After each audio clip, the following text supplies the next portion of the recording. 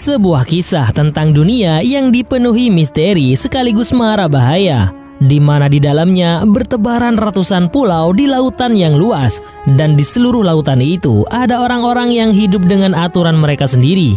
Orang-orang itu mencari kehidupan bebas serta petualangan dan inilah dunia bajak laut.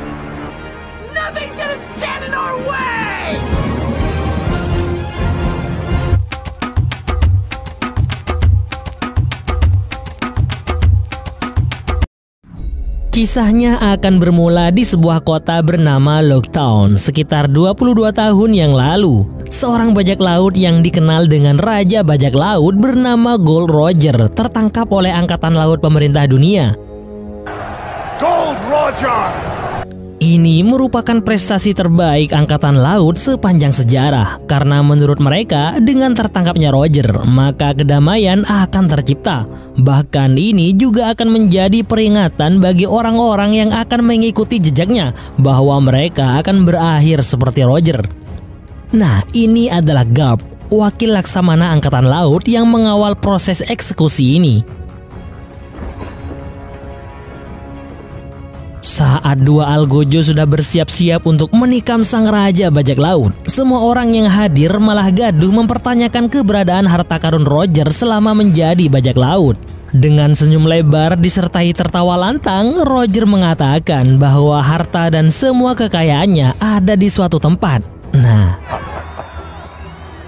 Free yourselves. My treasure is yours to find. Melihat situasi mulai tak terkendali, Gap memerintahkan agar segera melakukan eksekusi. Iya, tidak sesuai ekspektasi Gap yang mengira dengan mengeksekusi Roger akan membuat perdamaian. Ternyata malah semakin membuat era baru bajak laut yang mungkin lebih menggila dari era sebelumnya. Dan semua itu hanya untuk satu tujuan, yaitu harta karun Roger, One Piece. 22 tahun setelah kejadian itu, di sebuah wilayah lautan bernama Es Blue, mari kita sambut seorang remaja dengan penuh semangat yang bercita-cita menjadi raja bajak laut. Dia adalah Monkey D. Luffy. Dengan perahu kecil dan tong yang dipenuhi persediaan makanan, Luffy mengarungi lautan seorang diri dengan percaya diri. Bahkan wajahnya selalu menampakkan keceriaan tanpa beban sedikit pun. Namun tanpa diduga, perahu kecilnya mengalami kebocoran. Dengan cepat dia membuang semua ikan di dalam sebuah tong dan dia pun masuk di dalamnya. Gelombang lautan membawa tong Luffy yang tertidur pulas di dalamnya sampai berada di hadapan kapal bajak laut yang sedang menyerang sebuah kapal.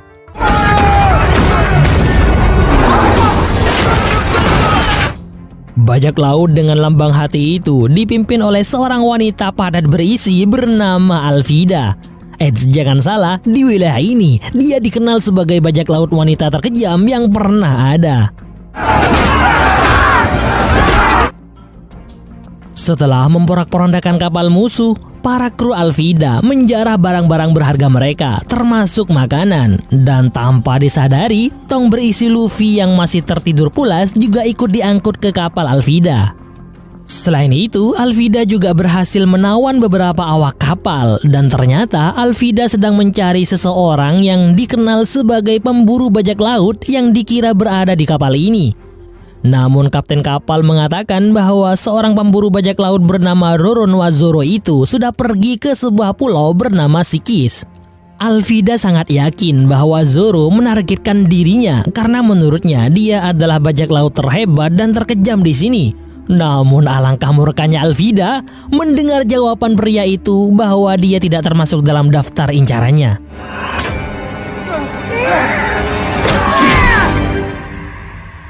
Di sini akan diperlihatkan tukang bersih-bersih kapal Alvida bernama Kobi, remaja culun yang hidupnya ditawan untuk mengabdi di kapal Alvida. Malam harinya, saat Kobi sedang membersihkan senjata Alvida, dia dikejutkan dengan suara aneh dari sebuah gentong. Dan betapa kagetnya dia saat melihat ada seseorang keluar dari tong itu. Teriakan Kobi mengharuskan Luffy membungkam mulutnya agar tidak berisik. Nah, pertemuan ini membuat Kobe bingung karena Luffy mengatakan bahwa dia adalah bajak laut. Sebab bajak laut yang selama ini Kobe kenal merupakan orang-orang kejam dan sadis yang suka membunuh dan menjarah tanpa ampun. Dengan nada gemetar, Kobe memberitahu Luffy bahwa Alvida sang kapten di kapal ini adalah orang yang sangat kejam. Luffy dengan enteng memberitahu Kobe bahwa bajak laut yang dia kenal bukanlah orang kejam seperti yang digambarkan Kobe. Kisahnya, saat Luffy masih anak-anak, dia merupakan anak yang penuh semangat dengan rasa ingin tahu yang besar. Diperlihatkan Luffy kecil di wilayah Es Blue di sebuah desa bernama Fusha atau desa kincir angin 10 tahun yang lalu. Saat itu ada kelompok bajak laut yang sedang singgah di sana. Luffy cukup akrab dengan para kru bajak laut itu, terutama sang kapten yang bernama Sheng. Bahkan tak segan, Luffy juga membantu mengangkut barang-barang mereka karena dia sangat ingin menjadi kru bajak laut Sheng. Namun sayang, karena masih terlalu kecil, Sheng tidak terlalu menanggapinya. Akhirnya, untuk membuktikan bahwa Luffy bukanlah seorang bocil, dia naik ke bagian atas kapal dengan sebilah pisau dan melukai wajahnya. Sontak saja, hal itu membuat kaget semua kru, bahkan Sheng. Mendengar kisah Luffy, Kobe masih tidak habis pikir kenapa ada orang yang bercita-cita menjadi bajak laut. Aura kekejaman Alvida memang sudah merasuk ke sendi-sendi Kobe, sehingga dia terkekang dohir batin seakan hidup matinya berada di tangan Alvida. Dan lagi-lagi, dengan nada enteng namun cukup serius, Luffy menyarankan Kobe agar jangan mau diatur oleh orang lain, karena setiap orang memiliki impiannya masing-masing. Di momen itulah Luffy memberitahu impiannya kepada Kobe bahwa dia sangat ingin menemukan One Piece. Mendengar itu, Kobe semakin ngeri dan seperti nggak percaya orang seperti Luffy memiliki keinginan berbahaya itu. Pasalnya, lautan yang akan dilewati untuk sampai ke Greenland saja dianggap sebagai kuburan para bajak laut, dan itu pun masih belum sampai setengahnya untuk menemukan harta karun Roger itu. Belum lagi rintangan dari angkatan laut yang menjadi musuh terbesar bajak laut. Bahkan banyak monster laut dan juga bajak laut lain yang mungkin akan menjadi musuh. Tapi anehnya Luffy malah semakin bersemangat mendengar cerita ngeri dari Kobe. Tak lama kemudian, suara dengkuran Alvida membuat Kobe ketakutan sehingga segera menyuruh Luffy untuk kabur dari sini secepat mungkin. Dengan mengendap-ngendap, Kobe dan Luffy berjalan menuju tempat Skoci berada. Namun betapa cerobohnya Luffy saat mengambil gayung dan tak sengaja menjedorkannya ke tiang besi kapal. Suara bising itu membuat semua kru dan bahkan Alvida terbangun dan mau gak mau Kobe harus menghadapi kemurkaan Alvida. Akan tetapi, Luffy dengan sangat tenang dan santuy malah semakin membuat Alvida murka dengan mengejeknya. Dan...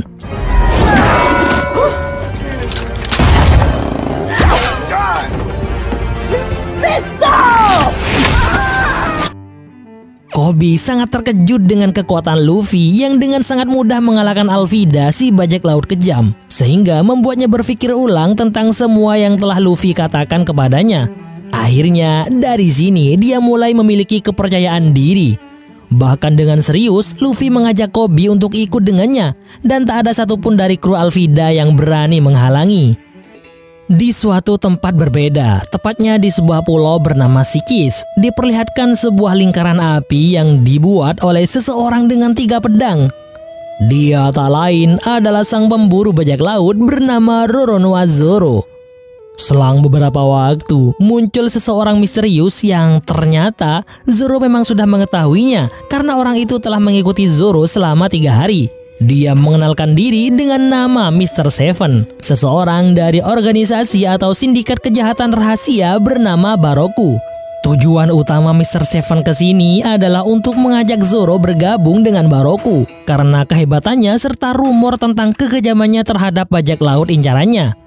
Dengan segala tawaran yang sangat fantastis dari Mr. Seven, ternyata tak membuat Zoro tertarik, bahkan mengabaikan Mr. Seven. Karena sesungguhnya dia memiliki tujuan lain yang menurutnya lebih penting dari apa pun. Penolakan itu jelas membuat Zoro harus dilenyapkan dari muka bumi.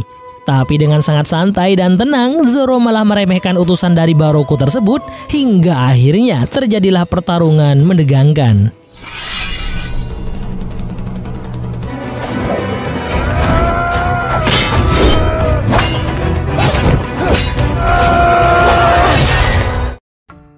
Beberapa waktu berlalu. Di tengah lautan, dengan sebuah perahu kecil, Luffy dan Kobe melakukan perjalanan. Saat itu, untuk pertama kalinya, Kobe menampakkan wajah bahagia setelah bertahun-tahun sejak dia kecil menjadi tawanan Alvida. Dia bahagia menceritakan Alvida yang dikalahkan oleh Luffy hingga jatuh ke lautan. Dari situ, Kobe penasaran kenapa tubuh Luffy bisa menjadi elastis seperti karet. Akhirnya, Luffy kembali melanjutkan kisah masa kecilnya, di mana setelah peristiwa Luffy menusuk wajahnya, dia diobati oleh Sheng.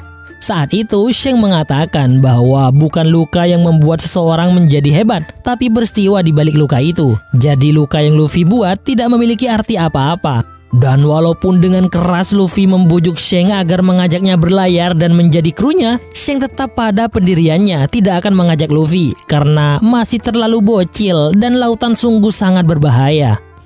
Akhirnya setelah itu Luffy yang sangat jengkel dan kesal kepada Sheng diam-diam pergi ke ruang penyimpanan harta Sheng dan menemukan sebuah kotak harta karun. Yang mana sebelumnya Luffy mendengar saat Sheng berkata kepada salah satu krunya yang bernama Rox bahwa kotak ini lebih berharga dari seluruh barang-barang yang lain. Nah, Luffy ingin menunjukkan kepada Sheng bahwa dia bukanlah bocil sembarangan. Dengan perlahan dia membuka kotak kecil itu dan menemukan semacam buah aneh yang belum pernah dia lihat. Meski sedikit ragu, Luffy yang jengkel kepada Sheng tetap memakan buah itu, bahkan sampai habis. Sementara itu, Sheng dan para krunya yang sedang berpesta di bar milik seorang wanita bernama Makino kedatangan kawanan bandit di mana sang ketua bandit yang bernama Higuma merasa jengkel karena semua minuman sudah dihabiskan oleh para kru bajak laut Sheng. Namun dengan kerendahan hati, Sheng mencoba mendamaikan suasana dengan menawari Higuma minuman miliknya. Dan lagi-lagi dengan kerendahan hati, Sheng mengepel lantai dari pecahan botol minuman yang dibuang oleh Higuma. Namun si bandit ini malah semakin ngelunjak dengan memecahkan barang-barang lainnya karena menganggap remeh Sheng dan kawanannya. Begitu si bandit dan kelompoknya pergi dengan angkuhnya, teman-teman Sheng malah tertawa geli melihat kapten mereka yang terlihat konyol. Akan tetapi, Luffy yang sedari tadi memperhatikan merasa marah karena Sheng tidak melawan. Dan lagi-lagi dengan santuinya, Sheng memberitahu sekaligus mengajarkan Luffy bahwa tidak semua permasalahan harus diselesaikan dengan kekerasan. Karena seorang pria bukan hanya harus kuat, tapi juga harus baik dan berakhlak mulia. Nah, dari situlah Luffy masih harus banyak belajar untuk mengarungi lautan. Tapi ceramah Sheng malah semakin membuat Luffy kesal dan saat dia akan pergi, Sheng menarik tangannya dan ternyata Itulah awal mula Luffy menjadi manusia karet. Buah yang dia makan ternyata adalah buah iblis bernama Gomu Gomu. Untuk saat ini, tujuan Luffy adalah menuju Grand Line. Namun konyolnya, Luffy tidak tahu jalannya, bahkan peta saja dia nggak punya. Dan hal itu malah membuat Kobe sedikit menyesal telah mengikuti Luffy. Namun entah bagaimana alurnya, Luffy tiba-tiba menanyakan impian Kobe. Saat akan menceritakannya, Kobi malah mengurungkannya karena menganggap impiannya itu konyol.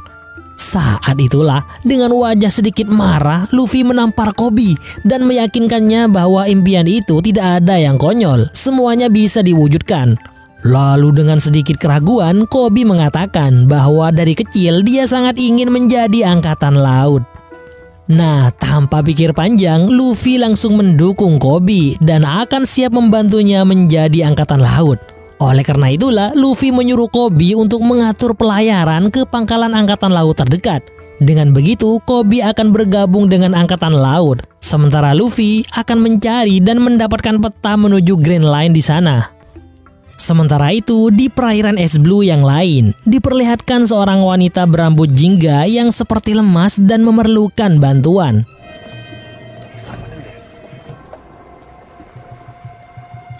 Good thing we found you instead of them. Help me. Dua pria bajak laut ecek-ecek yang sebenarnya menginginkan kotak harta karun milik wanita itu ternyata masuk dalam perangkap busuk sang wanita. Dan akhirnya kapal mereka pun berhasil digondol. Rupanya tujuannya saat ini adalah sama seperti tujuan Luffy dan Kobe, yaitu pangkalan angkatan laut terdekat. Di sebuah kota bernama Shells atau Shellstone inilah terdapat pangkalan angkatan laut cabang ke-153. Sesampainya Luffy dan Kobe di sana, Luffy dan apalagi Kobe terkejut melihat poster buronan bajak laut dengan nilai buronan yang cukup mengernyitkan dahi. Kemudian karena Luffy kelaparan, rencana penyusupan ke pangkalan angkatan laut akan dibahas sambil makan. si wanita berambut jingga ternyata sudah berada di sini. Lalu tak lama kemudian ada angkatan laut ganteng yang mau mentraktirnya minum namun malah dia tolak karena lebih tinggi dan dia malah memilih seorang angkatan laut paruh baya. Nah, di bar ini juga, secara kebetulan, sang pemburu bajak laut, Roronoa Zoro, singgah sambil membawa mayat Mr. Seven untuk ditukar dengan uang kepada angkatan laut, sesuai dengan nilai buronannya.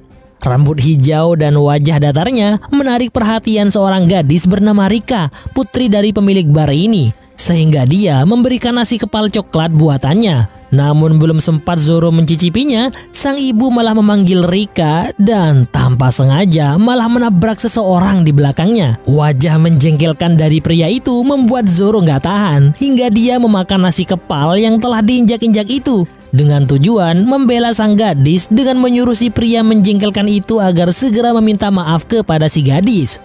Hal itu memicu kemurkaan darinya sehingga dia mengeluarkan pedangnya yang artinya pertarungan akan terjadi.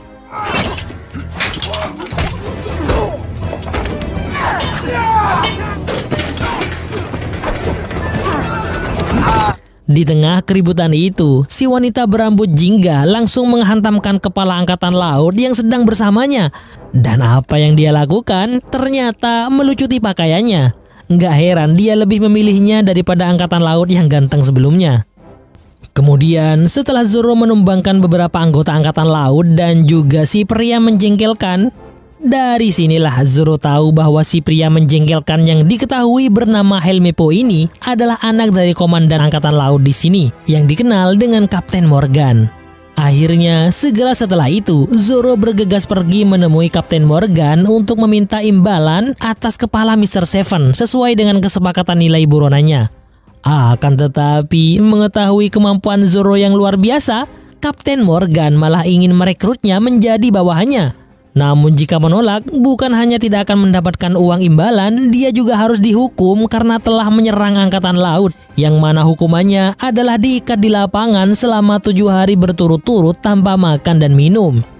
Dan seperti sebelumnya, Zoro juga tidak tertarik untuk bergabung dengan angkatan laut.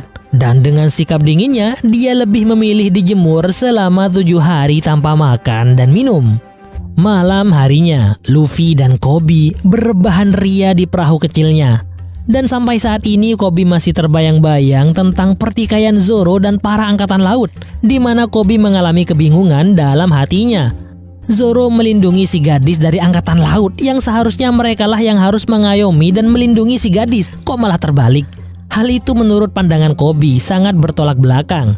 Tapi Luffy malah menyoroti kehebatan Zoro dan bertanya-tanya bagaimana cara menggunakan ketiga pedang itu. Karena saat itu memang Zoro tidak sampai mengeluarkan pedangnya sama sekali.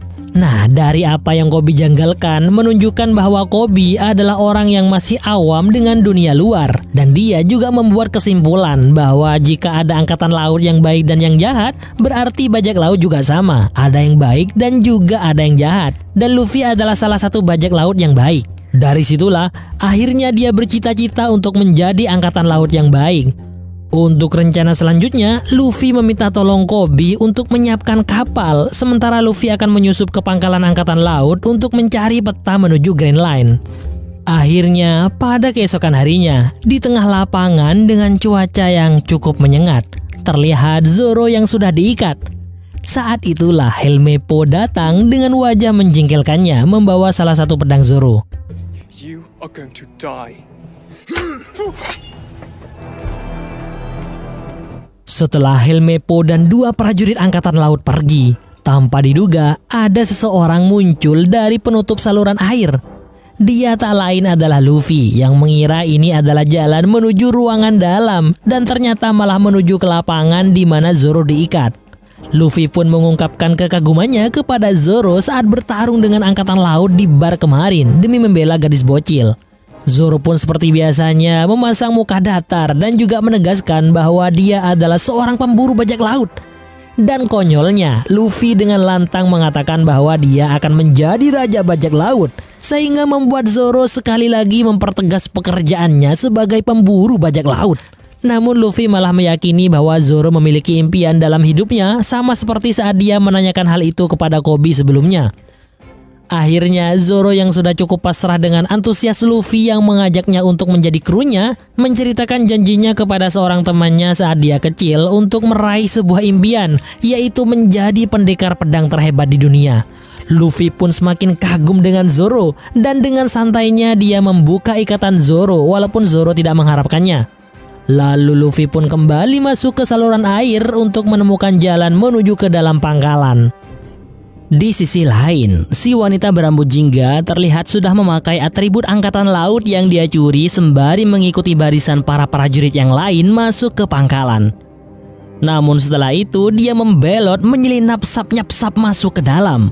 Dalam ruangan yang menyimpan banyak sekali peta, si wanita ini terus mencari sebuah peta yang tak lain adalah peta yang juga dicari oleh Luffy, yaitu peta Grand Line. Lalu tanpa disangka, dia ketahuan salah seorang prajurit. Namun dia masih bisa berkelit sehingga cukup membuatnya merasa lega. Tapi ternyata ada prajurit lain yang ada di sana dan dia tak lain adalah prajurit Parubaya yang bajunya dicuri olehnya saat di bar. Akhirnya mau nggak mau dia pun langsung menyerang mereka.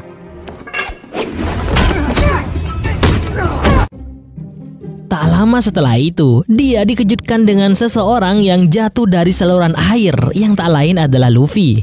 Di momen ini, Luffy tak menggubris si wanita berambut jingga itu yang mengaku sebagai anggota angkatan laut. Karena sedari tadi, Luffy mengetahui apa yang terjadi sekaligus percakapan mereka. Sehingga dengan santuy, dia segera menuju lokasi peta sesuai dengan yang diinformasikan salah seorang prajurit angkatan laut, yaitu ruangan Kapten Morgan. Mau nggak mau, si wanita itu juga akhirnya mengikuti Luffy karena sama-sama mencari peta menuju Grand Line. Luffy semakin membuat wanita itu nggak habis fikri kenapa dia bisa setenang dan senyaman itu menyusup ke tempat ini. Dan dia malah mencari ruangan Kapten Morgan yang dikenal bengis dan mengerikan itu. Lalu tanpa diduga, Kapten Morgan tiba-tiba muncul di hadapan mereka berdua.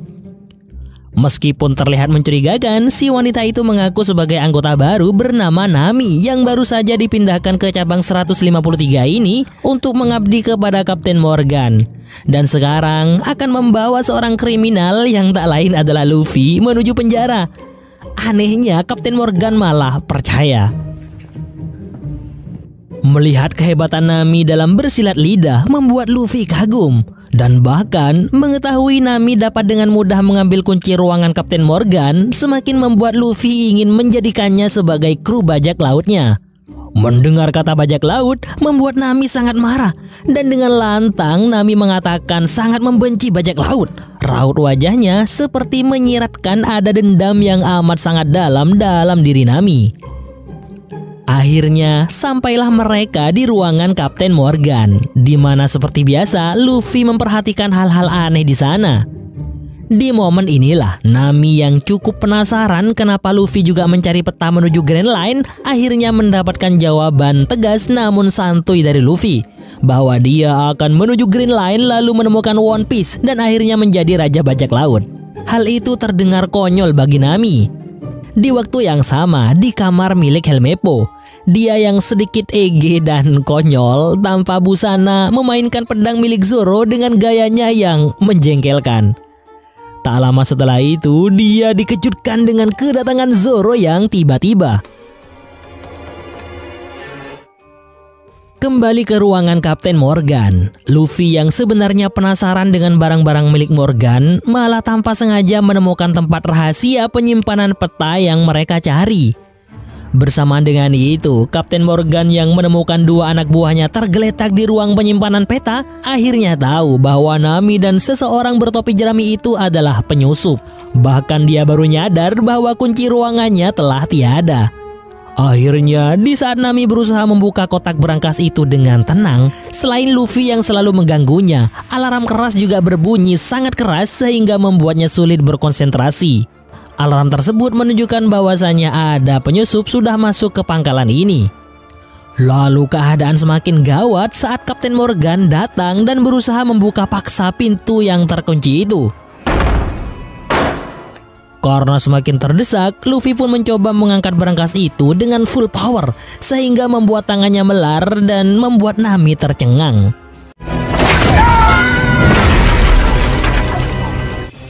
Tak lama setelah jatuh terpental ke lapangan, mereka berdua malah langsung mendapatkan serangan dari para prajurit angkatan laut yang mau nggak mau harus mereka lawan.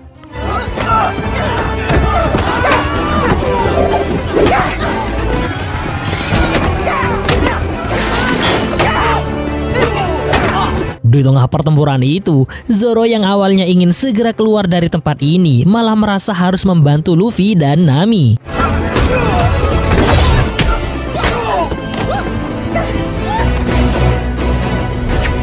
Setelah cukup banyak prajurit angkatan laut yang tumbang, Kapten Morgan akhirnya muncul dan dengan pedenya membanggakan prestasinya bahwa sudah banyak bajak laut yang telah dia kalahkan. Termasuk yang paling membanggakan baginya adalah mengalahkan bajak laut kucing hitam beserta kaptennya yang dikenal dengan Kapten Kuro. Semua kehebatan yang diceritakan Kapten Morgan tidak sedikit pun membuat Luffy dan Zoro gentar. Hingga akhirnya pertarungan pun dimulai.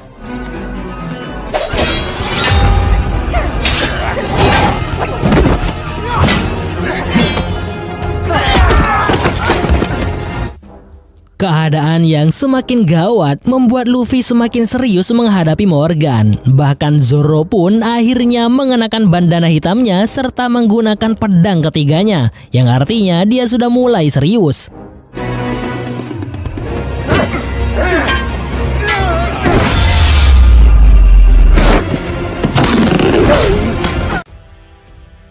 Ya, tendangan keras Luffy mengakhiri pertarungan ini dengan kemenangan di tangan mereka. Setelah itu, mereka bertiga pun segera bergegas keluar dari sana. Yang mana saat itu, Zoro dengan santuinya mengangkat berangkas berisi peta Grand Line menuju ke kapal Nami. Nah, saat itu Luffy yang menunggu Kobe yang muncul malah Helmepo dengan potongan rambut aneh yang tak lain adalah perbuatan Zoro. Helmepo yang terus ngoceh nggak karuan malah membuat Zoro dan Luffy semakin geli melihat tingkah konyolnya. Hingga tiba-tiba Di momen inilah Kobi membuat keputusan serius bahwa mulai detik ini dia akan menjalani kehidupan yang berbeda dengan Luffy.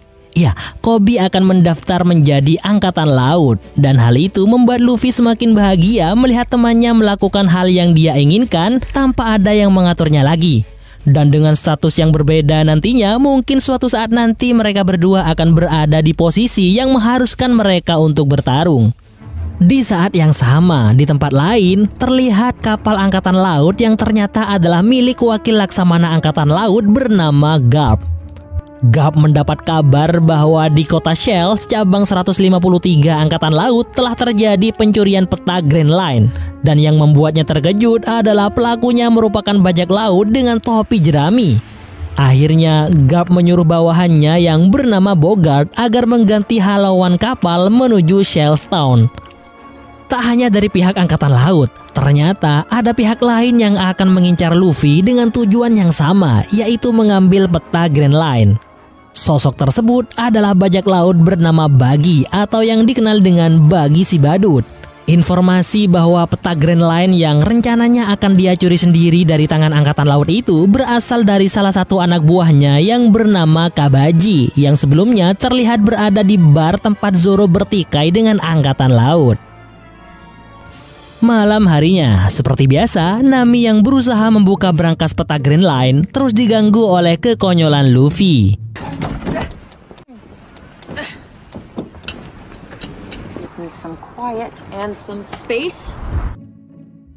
Hampir saja topi jerami kesayangan Luffy terbawa angin hingga membuatnya sedikit marah. Tapi suasana berubah saat Nami berhasil membuka berangkas dan akhirnya peta Grand Line pun berhasil dikeluarkan. Nah, setelah itu Nami menjelaskan bahwa samudra terbagi menjadi empat kuadran. Es Blue, North Blue, West Blue, dan South Blue, di mana daratan kecil yang membentang dari utara ke selatan disebut dengan Red Line, dan lautan yang melintang di tengah-tengah itu adalah apa yang disebut dengan Green Line, hamparan laut berbahaya dengan pulau-pulau yang lebih besar dan tentunya banyak bajak laut kuat yang sangat mengerikan. Tak lama setelah itu, tiba-tiba mereka bertiga dikejutkan dengan bunyi ledakan di luar kapal. Dan betapa kagetnya mereka melihat asap merah menyelimuti udara. Perlahan namun pasti kesadaran mereka mulai menurun hingga Luffy yang merasa akan pingsan segera mengamankan peta Grand Line di dalam perutnya. Beberapa waktu kemudian saat mereka sadar ternyata mereka sudah mendekam di sebuah kotak besar yang mereka kira adalah perbuatan angkatan laut. Namun ternyata mereka berada di tengah-tengah para pemain sirkus.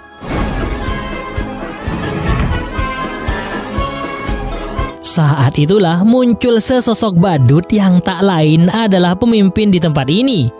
Mereka semua adalah bajak laut. Dan rupanya Luffy masih mengingat sebuah poster buronan di Cellstone yang menampakkan wajah bajak laut badut ini. Luffy memanggilnya Binky, padahal aslinya Buggy. Buggy the Clown.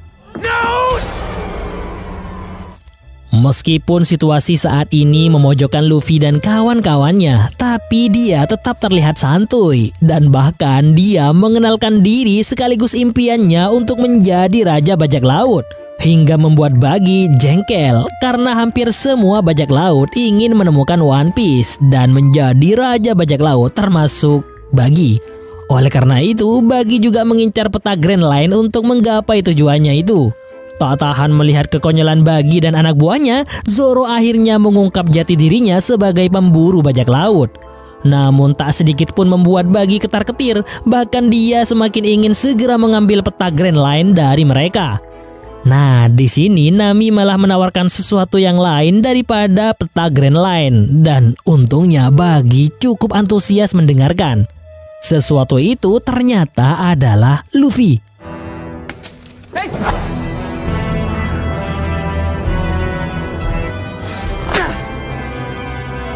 Nami yang ingin segera kabur dari sana malah terhenti melihat kota yang diketahui bernama Orange ini telah hancur berantakan. Dan entah kenapa Nami merasakan kesedihan yang amat sangat dalam. Hingga tanpa sadar anak buah Bagi pun menyeretnya kembali ke dalam. Sebagian besar penduduk kota kecil bernama Orange ini telah menjadi tawanan Bagi. Mereka semua terlihat sedih meskipun diperintahkan untuk tertawa dan bertepuk tangan. Akhirnya untuk menyingkat waktu, Bagi segera melakukan eksekusi kepada mereka bertiga, terutama Luffy, agar peta itu segera diserahkan kepadanya. Nami dan Zoro berada di ruang lain, sementara Luffy mendapatkan perlakuan khusus.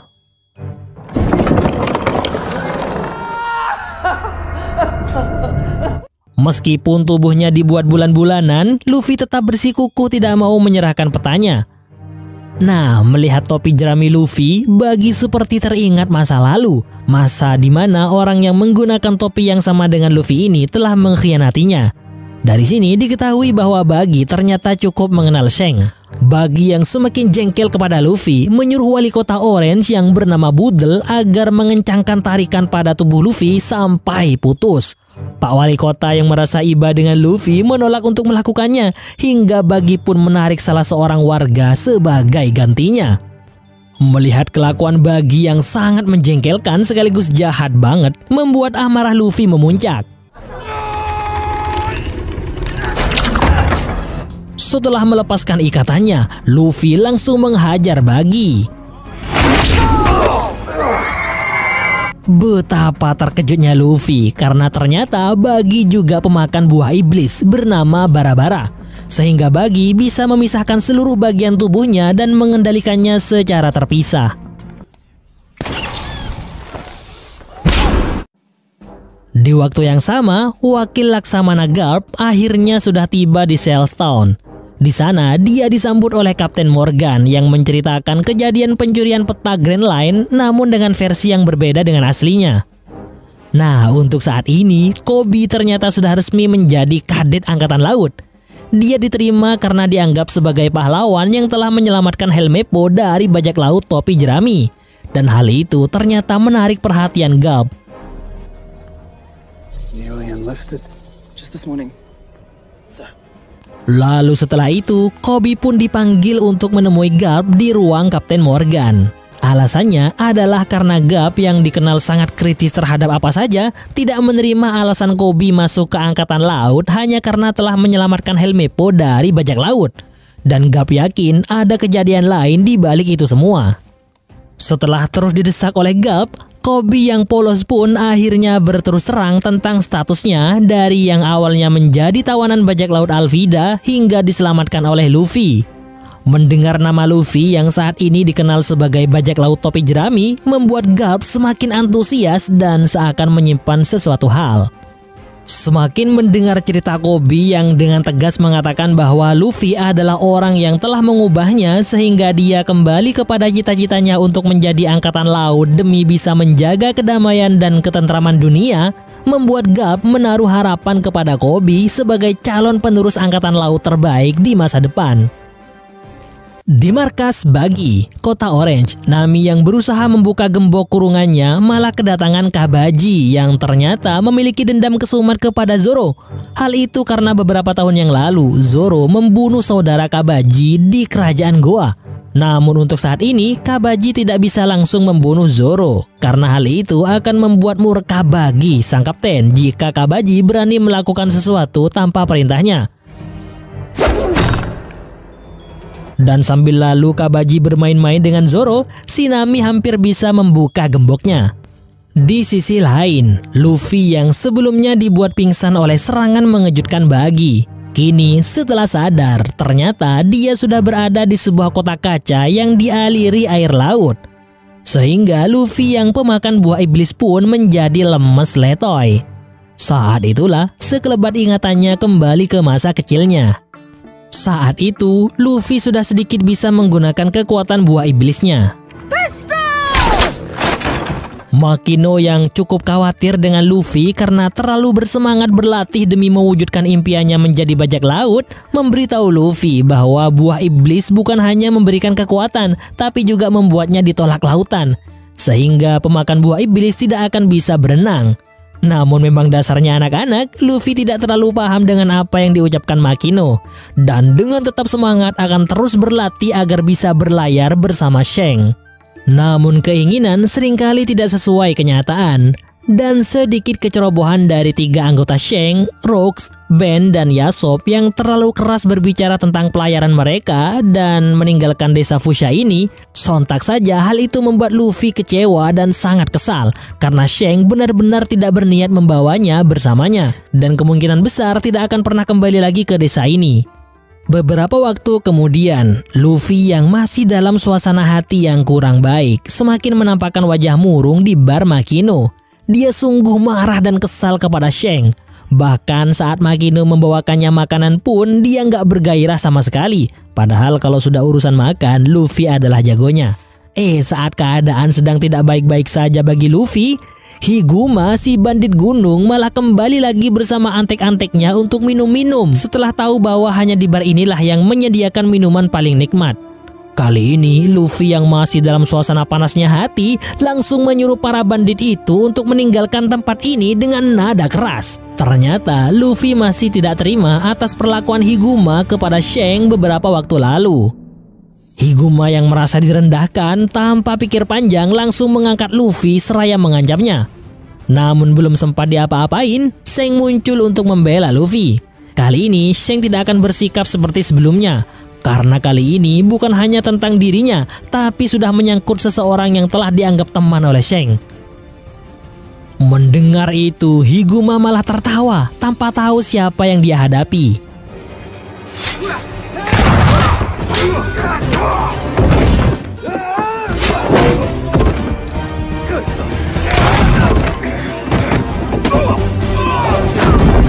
Karena terlalu fokus menghajar para bandit, Sheng melupakan Luffy yang ternyata sudah nggak ada di sana. Rupanya Luffy secara diam-diam dibawa kabur oleh Higuma hingga berada di tengah lautan menggunakan perahu kecil. Luffy yang nyawanya sedang terancam malah semakin membuat Higuma jengkel. Akan tetapi saat niat membunuh Higuma sudah diubun-ubun, tiba-tiba perahu kecil itu seperti ada yang mengguncang.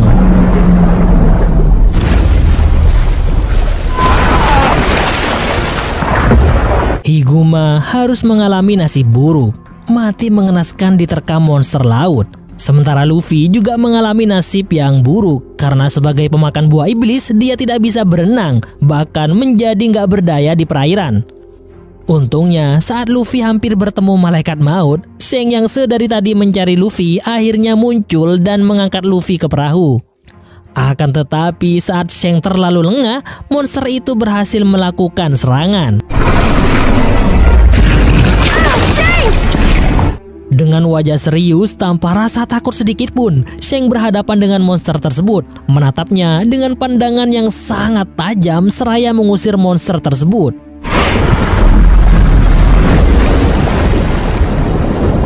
Setelah itu, saat Luffy memeluk Sheng, dia baru sadar bahwa ternyata lengan kiri Sheng sudah tiada alias kotong. Saat itulah Luffy sangat merasa bersalah kepada Sheng, tapi Sheng terus menyemangati Luffy agar tetap tegar menerima kenyataan dunia yang sering kali tidak sesuai dengan keinginan.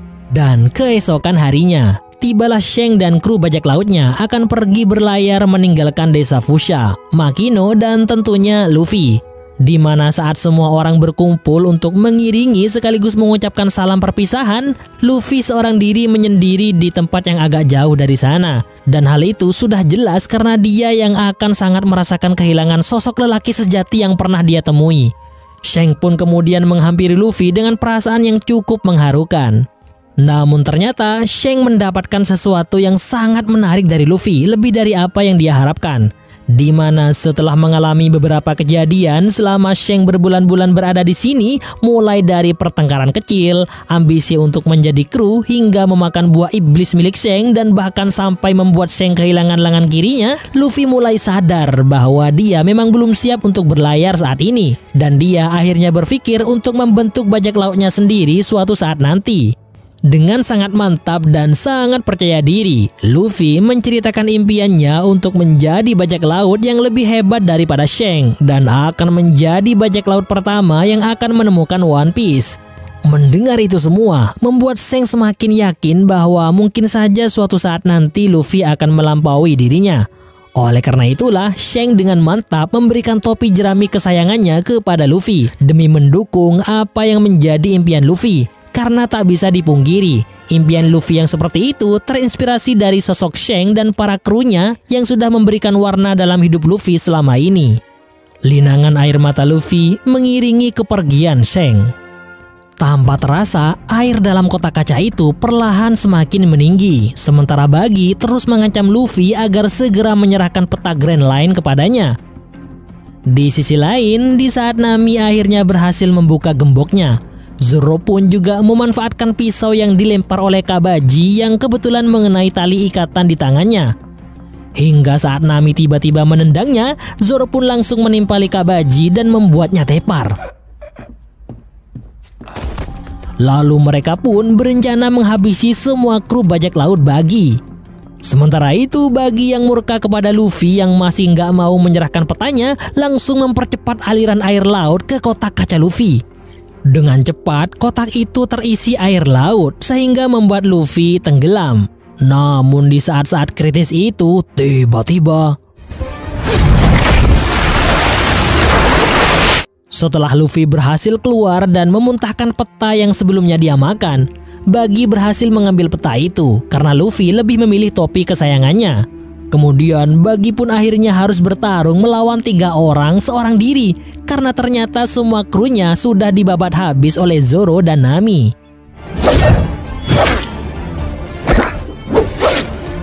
Zoro ternyata dibuat kewalahan dengan kekuatan buah bara-bara Bagi. Bahkan Bagi semakin menunjukkan kekuatan potensial buah bara-bara.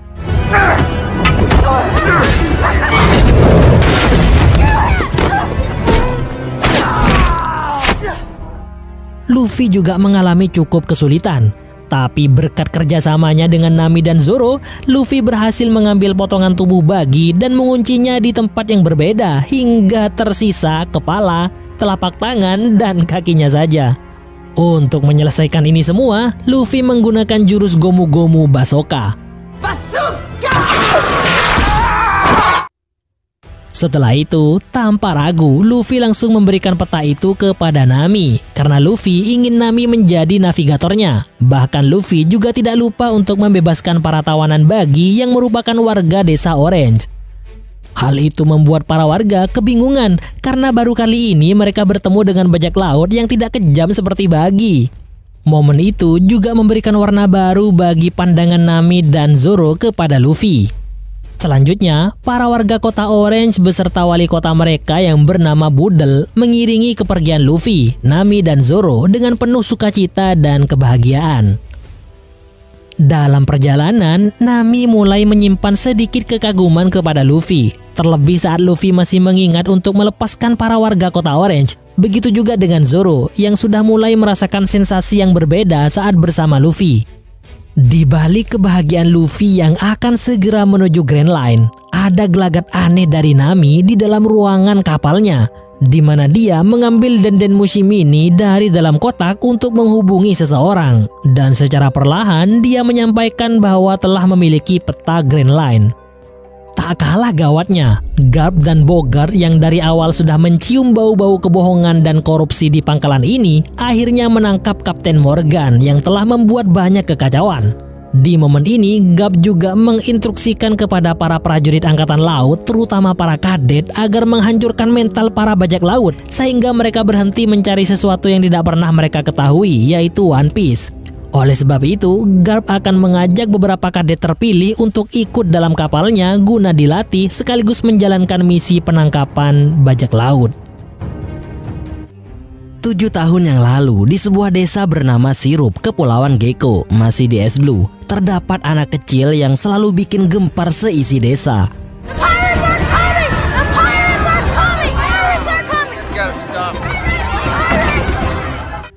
Hingga pada hari ini, si anak yang sudah beranjak remaja yang dikenal dengan nama Usop itu terus-menerus menggembar-gemborkan bajak laut datang ke desa ini.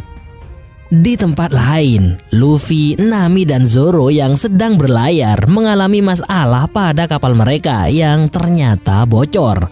Padahal saat itu Luffy baru saja menyelesaikan Jolly Roger untuk bajak lautnya. Ya, walaupun tidak cukup bagus. Nah, saat itulah Luffy mempunyai keinginan untuk mencari kapal yang lebih besar dalam melakukan pelayarannya menjadi bajak laut. Meskipun Nami dan Zoro belum mau diakui sebagai kru bajak laut Luffy. Akhirnya, setelah Nami melihat peta, mereka akan berlabuh di kepulauan terdekat saat ini. Dan itu tak lain adalah Kepulauan Gecko. Setelah beberapa waktu, Luffy pun akhirnya sampai di Kepulauan Gecko, tepatnya di desa Sirup. Di sana, ternyata mereka menemukan poster buronan bagi dengan nilai 15 juta berry, angka yang cukup fantastis saat itu. Hingga membuat Zoro Clear ingin segera menangkapnya untuk mendapatkan uang. Mendengar itu, Luffy pun hanya bisa tersenyum karena hal itu tidak mungkin dilakukan. Sebab saat ini pun Zoro juga sudah menjadi buronan angkatan laut. Tak lama kemudian, Nami datang setelah menenggelamkan kapalnya agar tidak terlacak oleh angkatan laut, serta memberikan kabar gembira bahwa ternyata desa ini terkenal dengan desa pembuat kapal yang cukup bagus. Luffy yang sangat gembira mendengar itu tanpa banyak mikir langsung menuju lokasi galangan kapal desa sirup.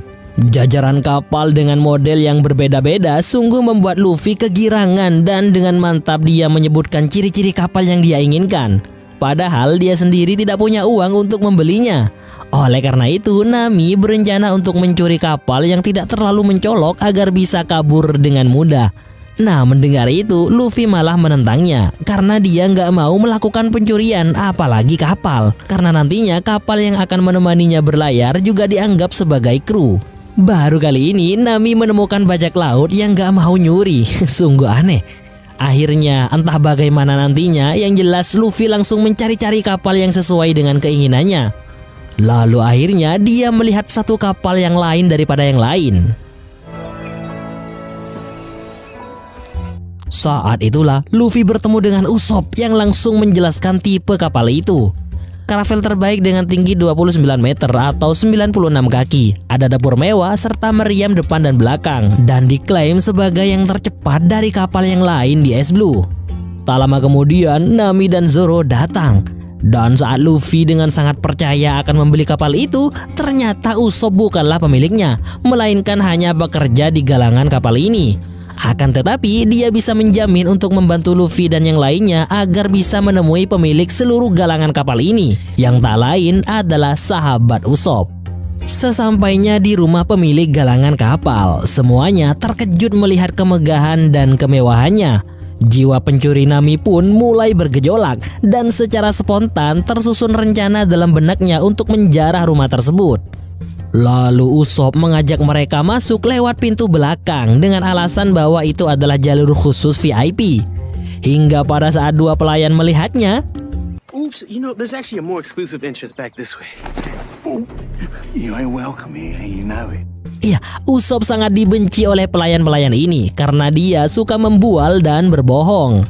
Tapi tak lama kemudian muncul sesosok gadis cantik bersama seorang kepala pelayan yang menyambut Usop dengan baik. Dia bernama Kaya dan sang kepala pelayan bernama Klahador. Begitu bahagianya Kaya melihat kedatangan Usop dan ternyata hari ini bertepatan dengan hari ulang tahunnya.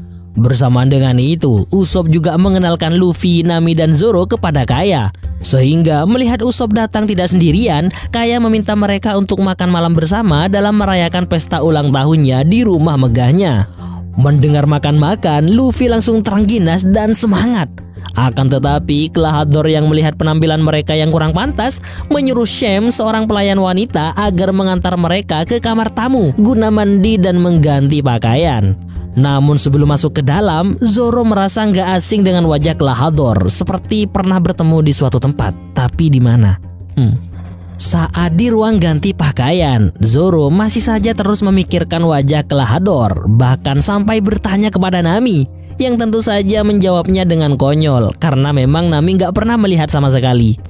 Ruangan dengan banyak baju-baju mewah dan mahal ini sangat menyenangkan Nami hingga hampir semua baju dia coba. Di sinilah Luffy dan Nami membuat kesepakatan Jika Luffy gagal meyakinkan Kaya untuk memberikan kapalnya untuk Luffy Maka rencana Nami lah yang akan dilanjutkan Yaitu mencuri kapal dalam ruangan itu hanya ada mereka bertiga, sementara Usop ternyata masuk ke ruangan Kaya melewati lorong pelayan hanya untuk memberikan Kaya sebuah hadiah ulang tahun sekaligus cerita petualangan fiksinya yang penuh semangat.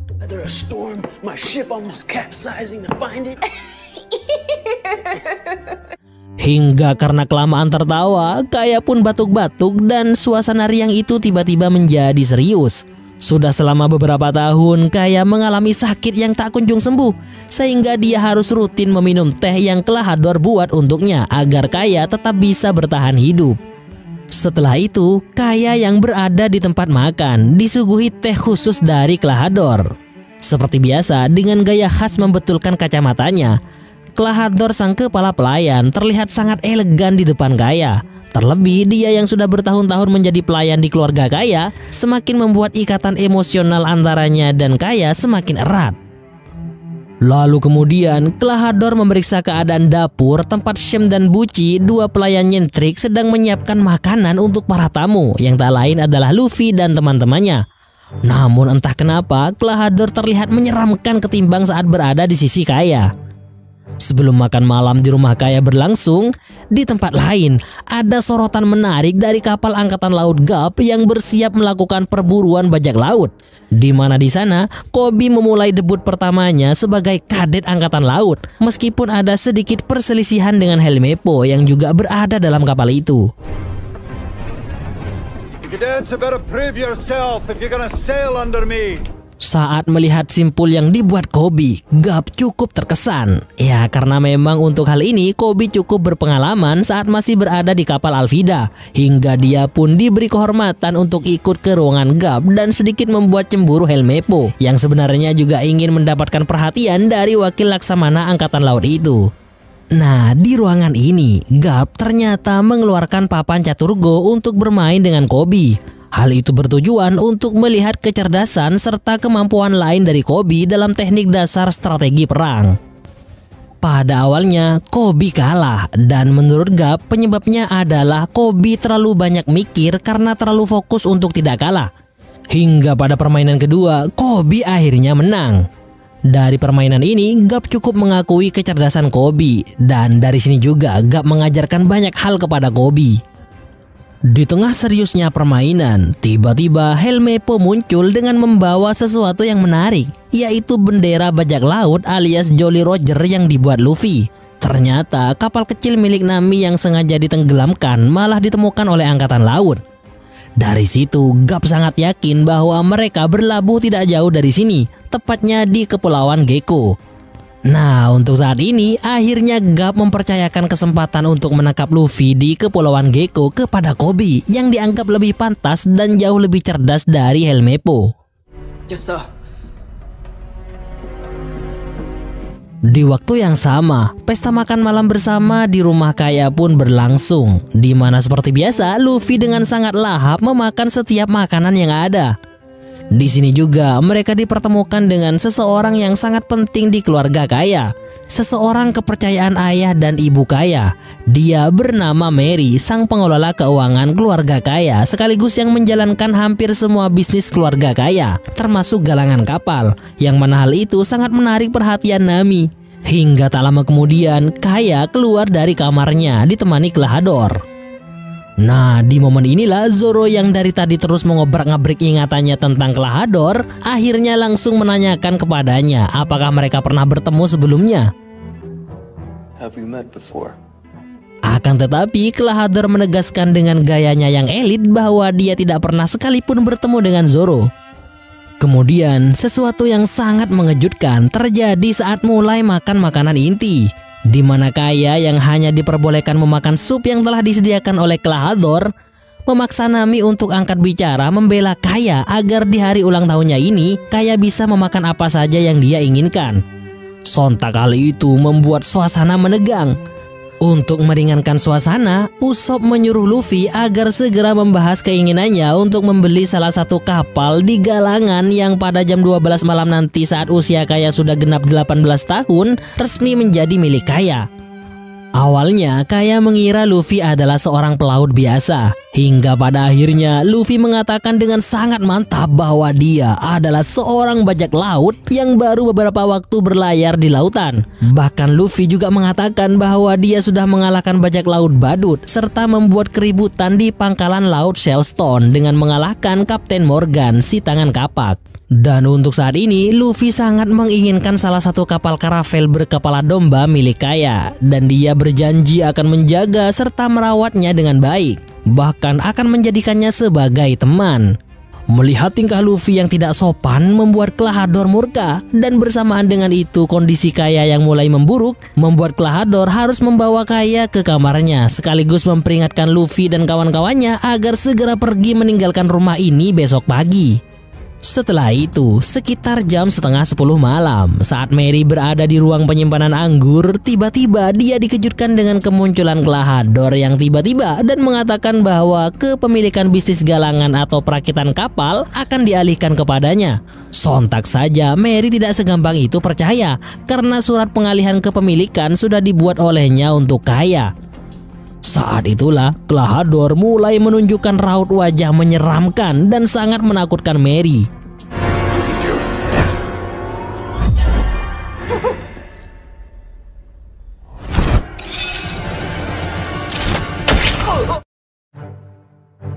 Sementara itu di sisi lain, Luffy tanpa sengaja berpapasan dengan Zoro yang ternyata mencari minuman. Ya kebetulan Luffy juga sedang mencari makanan. Akhirnya dua orang itu pun mencari bersama-sama. Eh di belakang mereka ternyata Nami sedang menjalankan rencana pencuriannya di mana satu persatu barang yang menurutnya bagus langsung dia kantongi. Lalu mendengar suara kelahador dari kejauhan, Nami pun segera bergegas pergi hingga tanpa sengaja dia malah masuk ke kamar Kaya. Di momen ini, ternyata Kaya tidak seperti yang Nami bayangkan. Karena meskipun dia tahu bahwa Nami sedang mencuri barang-barangnya, Kaya tetap tenang dan malah seakan tidak ingin menyakiti hati Nami. Dari situlah mereka berdua semakin enak ngobrol satu sama lain, mulai dari kehidupan Kaya yang orang tuanya meninggal hingga tentang kehidupan Usop. Sementara itu, Luffy dan Zoro akhirnya sampai di dapur, di mana di sana ternyata sudah ada Usop. Saat itulah Usop yang ternyata tertarik dengan cerita Luffy dalam beberapa hari pelayarannya berpikir untuk ikut bersamanya. Namun dia masih khawatir jika meninggalkan Kaya seorang diri di sini. Kemudian Usop yang iseng menggunakan ketapelnya membuat Luffy terkesan karena tembakannya cukup jitu. Hingga akhirnya Usop pun bercerita bahwa bakatnya itu mungkin turunan dari ayahnya yang bernama Yasop.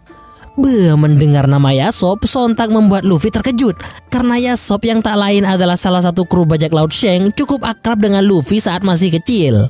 Zoro yang dari tadi mondar mandir tanpa sedikit pun tertarik dengan pembicaraan Luffy dan Usop ternyata sedang mencari-cari minuman. Akhirnya Usop pun menunjukkan gudang penyimpanan anggur yang berada di ruang bawah tanah. Saat Usop mengantarkan Zoro ke ruang bawah tanah, Luffy yang memang sedang mencari makanan malah menemukan sup yang dibuat oleh Buci untuk diberikan kepada Kaya. Dan parahnya, Luffy malah menghabiskan semuanya. Di ruang penyimpanan, Usop dikejutkan dengan penemuan mayat yang tak lain adalah Mary. Tak lama kemudian, mereka berdua dikejutkan dengan kemunculan Kelahador dengan wajah seriusnya. Dan kali ini dia tanpa ragu menunjukkan sarung tangan dengan pedang di jari-jarinya.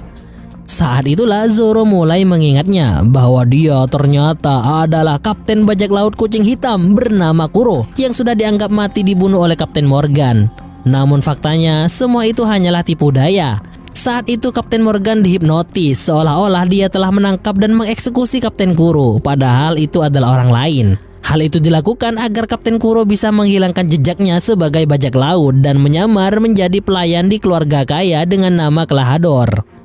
Tanpa banyak prakata lagi, Zoro mulai mengeluarkan pedangnya.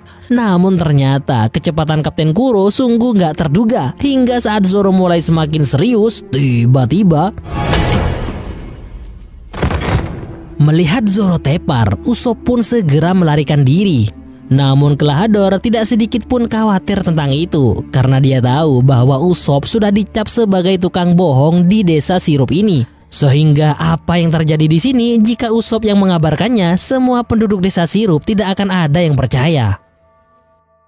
Ternyata seperti dugaan Kelahador, sekeras-kerasnya Usop berteriak ada bajak laut tidak akan ada yang mendengarkan. Hal itu pun mengingatkan Usop akan masa kecilnya, di mana saat itu dia yang hanya tinggal dengan ibunya selalu berharap ayahnya yang telah meninggalkannya kembali dengan rombongan bajak lautnya. Dan dari sini juga terungkap alasan kenapa Usop selalu berteriak ada bajak laut datang. Tak lain karena mengharap sang ayah kembali. Hingga pada akhirnya sang ibu meninggal dunia meninggalkan Usop yang masih anak-anak seorang diri. Sementara itu, Zoro dan mayat Mary dibawa oleh Buci dan Shem menuju sumur mati untuk dibuang agar tidak meninggalkan jejak. Di waktu yang sama, di kamar Kaya, Nami yang sudah cukup banyak berbincang-bincang dengan Kaya merasa iba dengan kondisi Kaya. Bahkan dari cerita Kaya, insting Nami merasakan ada yang gak beres dengan Kelahador. Hingga dia pun menyarankan agar Kaya tidak membiarkan dirinya diatur-atur oleh Kelahador atau bahkan siapa pun. Dan dengan raut wajah yang menyiratkan kesedihan, Nami pamit dari kamar Kaya. Kemudian dari hati nuraninya yang terdalam, dia mengembalikan barang-barang yang dia ambil. Kesedihan yang melanda hati Usop saat apa yang dikabarkannya benar-benar terjadi ternyata malah nggak ada satupun yang mempercayainya membuatnya tak kuasa menahan linangan air mata. Tapi tanpa diduga tiba-tiba Kobi muncul di hadapannya. Akhirnya, segera Usop memberitahu keadaan rumah kaya yang ternyata telah diduduki bajak laut Kapten Kuro selama bertahun-tahun dengan menyamar sebagai kepala pelayan. Akan tetapi Helmepo yang mendengar nama Kapten Kuro merasa bahwa Usop sedang berbohong karena yang Helmepo tahu bahwa Kapten Kuro telah dieksekusi oleh ayahnya yaitu Kapten Morgan. Padahal Helmepo nggak tahu fakta yang sebenarnya. Hingga akhirnya Usop juga memberitahu bahwa temannya yang bernama Luffy juga sedang dalam bahaya. Kobi yang mendengar nama Luffy pun segera bergegas menuju kediaman Kaya bersama Helmepo dan dua angkatan laut lainnya.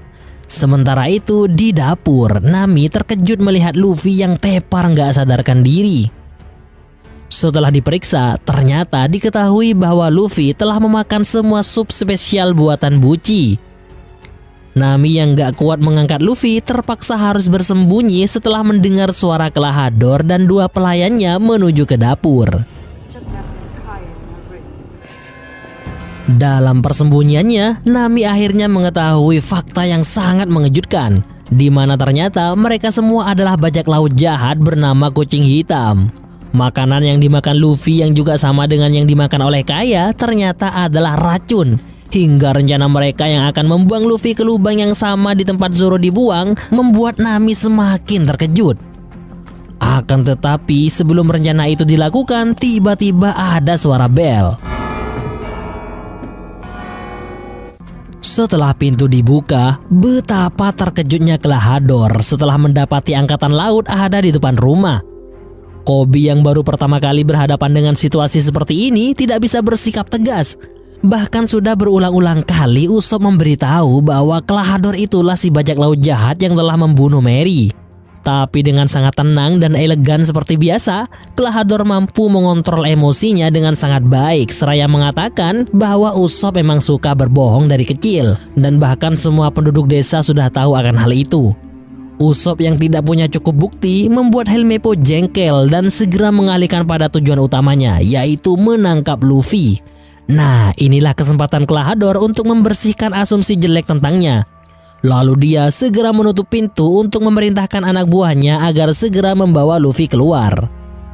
Setelah Luffy dibawa keluar, Shem yang kembali untuk membersihkan dapur malah mendapatkan serangan mendadak dari Nami. Suara keras wajan menampol Shem terdengar sangat keras hingga membuat Kobi curiga. Namun lagi-lagi dengan sangat santai, Kelahador bisa mengatasi situasi itu. Usop yang sudah tidak didengar lagi merasa harus melakukan hal lain demi menyelamatkan Kaya dari ancaman Kelahador. Hal itu malah semakin membuat Kelahador bisa berkelit dan bahkan belum selesai Kobi melakukan investigasi, Kelahador pun pamit undur diri sembari menutup pintu. Di sisi lain, ternyata Usop menyelinap masuk ke kamar Kaya dan segera memberitahu fakta bahwa Kelahador adalah seorang bajak laut kejam yang akan membunuhnya. Akan tetapi Kaya memasang wajah marah sekaligus kecewa kepada Usop. Mungkin sebelumnya semua kisah petualangan fantasi Usop masih bisa dinikmati sebagai hiburan. Tapi untuk hal ini, Kaya sangat serius tidak menyukainya sama sekali. Sebab Kelahador sudah menemani dan menjaganya sejak ayah dan ibunya meninggal. Sehingga ikatan emosionalnya sangat kuat. Bahkan Kaya sangat tidak percaya bahwa Mary telah mati dibunuh oleh Kelahador yang tak lain adalah Kapten Kuro. Di saat yang sama, Kelahador dan Buci yang menemui Shem dalam keadaan lemas akibat pukulan keras di kepalanya, akhirnya tahu bahwa penyebabnya adalah si wanita berambut jingga alias Nami. Bertepatan dengan itu, jam dinding pun berbunyi, menandakan jam sudah menunjukkan pukul 12 tengah malam. Dan genap sudah umur Kaya menjadi 18 tahun. Inilah saatnya Kelahador menunjukkan jati dirinya sebagai Kapten Kuro sekaligus bersiap-siap untuk membunuh Kaya dengan mengunci rumah ini seluruhnya sehingga mereka bisa sangat leluasa untuk membunuh Kaya.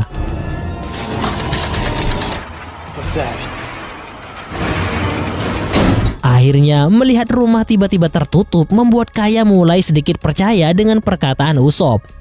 Ditambah lagi, saat itu juga Nami muncul dan menceritakan kengerian dan kekejaman Kelahador yang aslinya adalah Kapten Kuro. Dan dari Nami yang memberitahu tentang racun yang dia konsumsi, membuat Kaya mulai menyadari. Ternyata dia mulai mengalami sakit-sakitan semenjak Kelahador ada di sini. Dan penyebabnya tak lain adalah teh yang rutin dia konsumsi setiap hari. Akhirnya mereka bertiga pun segera bergegas mencari tuas cadangan pembuka segel rumah ini agar bisa keluar. Di waktu yang sama, Zoro yang dikira sudah mati ternyata masih hidup karena memang dia hanya pingsan akibat serangan mendadak dari Shem sebelumnya. Dengan cukup keras, Zoro berusaha keluar dari sumur mati itu. Nah, di saat-saat itulah dia teringat masa kecilnya sekitar tujuh tahun yang lalu di sebuah desa bernama Shimotsuki di mana saat itu Zoro sedang berlatih tanding. Di sana mereka diawasi langsung oleh sang pelatih bernama Koshiro Shimotsuki.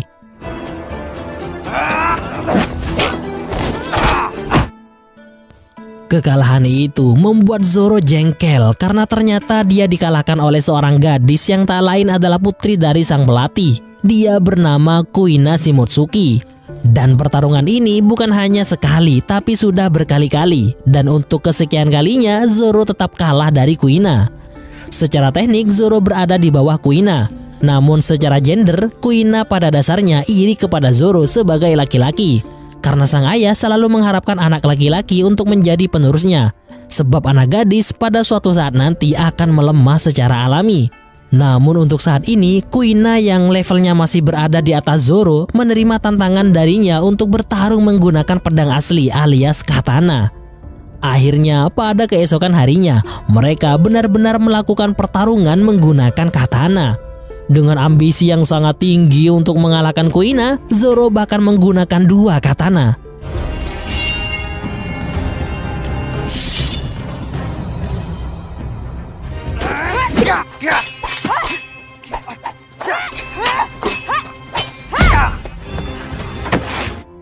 Seperti sebelumnya, Zoro selalu terganggu dengan emosinya yang terlalu menggebu-gebu, sehingga lagi-lagi dia dapat dikalahkan dengan mudah oleh Kuina.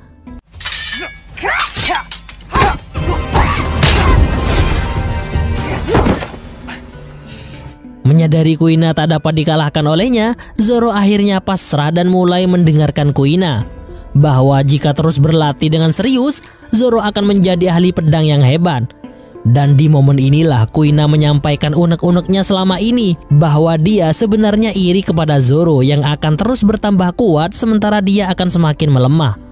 Mendengar itu dari mulut seseorang yang selalu mengalahkannya membuat Zoro mulai bersimpati kepada Kuina sehingga dia pun melakukan perjanjian dengan Kuina untuk berlatih berdua setiap hari. Keesokan harinya, tepatnya sehari setelah perjanjian untuk bertarung itu, Zoro seorang diri menunggu Kuina.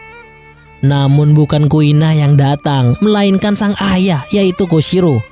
Dengan wajah yang tertunduk serta linangan air mata, Koshiro mengatakan bahwa Kuina telah tiada. Dia mengalami sebuah kecelakaan yang akhirnya membuatnya harus bertemu dengan malaikat maut. Betapa hancurnya hati Zoro mendengar berita itu. Dia bahkan hampir nggak percaya. Padahal baru saja kemarin Kuina masih membakar semangat Zoro untuk bertarung. Tapi apalah daya, nggak ada yang tahu kapan seseorang akan mati. Pada hari itu, semua murid dojo melakukan penghormatan terakhir kepada Kuina. Di momen itulah, Zoro menghampiri Koshiro untuk meminta izin akan membawa pedang Kuina yang diberi nama Wado Ichimonji. Dengan alasan yang kuat untuk menjadi pendekar pedang terkuat di dunia, Zoro memantapkan niatnya untuk membawa serta menjaga Wado Ichimonji layaknya temannya sendiri. Hingga akhirnya sang guru pun mengizinkan Zoro membawanya dengan syarat Zoro harus memenuhi janjinya untuk menjadi pendekar pedang terhebat di dunia. Bersamaan dengan akhir dari kilas baliknya, Zoro akhirnya bisa keluar dari sumur mati itu meskipun dengan penuh perjuangan. Di sisi lain, ketegangan sedang melanda Kaya, Usop dan Nami yang harus bersusah payah mencari tuas cadangan untuk membuka rumah ini karena suara Kapten Kuro yang menyeramkan menggema dalam rumah ini hingga membuat merinding. Oh, Miss Kaya. Dengan senyum menakutkan, Kapten Kuro mendengar suara batu Kaya sehingga dia bergerak cepat menuju lokasi dan Setelah lari dari cengkraman Kapten Kuro, mereka akhirnya berhasil menemukan ruangan di mana tuas cadangan itu berada. Namun siapa sangka tuas tersebut malah sangat sulit diputar. Kapten Kuro yang mengetahui keberadaan mereka akhirnya juga masuk ke ruangan itu. Namun untungnya mereka bisa segera bersembunyi. Di waktu yang sama, Kobi dan Helmepo yang sedang membawa Luffy masih dihantui rasa penasaran dan curiga terhadap Klahador. Oleh karena itu, dia sedikit beradu mulut dengan Helmepo yang ingin segera sampai ke kapal karena sudah menangkap Luffy yang untuk saat ini sedang tidak baik-baik saja sebab keracunan sub buatan Buci dan itu membuat Helmepo merasa bisa mengendalikan Luffy. Namun tanpa diduga, Setelah memuntahkan semua sub racun itu, Luffy mulai membaik dan saat itulah dia memohon kepada Kobe untuk kembali ke rumah Kaya demi menyelamatkan Kaya dan yang lainnya dari ancaman Kapten Kuro. Kobe sebenarnya juga setuju dengan Luffy, akan tetapi dia yang diperintahkan untuk menangkap Luffy mengalami kebingungan antara harus membantu Luffy atau tetap menyelesaikan tugasnya. Di tengah dilema itu, Helmepo dengan arogannya mengeluarkan senjata untuk mengancam Luffy agar dia segera jalan menuju kapal angkatan laut. Namun tiba-tiba si rambut hijau muncul di hadapan mereka. Sebenarnya Zoro juga tanpa sengaja lewat jalan ini dan ya keberuntungan masih di tangan mereka. Lalu Luffy pun segera bergegas menuju rumah kaya, meninggalkan Kobe yang terdiam seorang diri. Di saat yang sama, Kapten Kuro yang terus mencari keberadaan Kaya semakin menunjukkan jati dirinya sebagai orang yang jahat dan licik. Hingga kata-katanya sangat menyakitkan hati Kaya yang sudah sangat percaya kepadanya. Di sisi lain, Zoro dan Luffy akhirnya bisa masuk ke dalam rumah berkat kekuatan Zoro yang luar biasa. Dua orang itu kemudian berpencar agar lebih cepat menemukan Kaya. Zoro ternyata bertemu dengan Buci dengan pakaian khas bajak laut kucing hitam dengan dua pedangnya.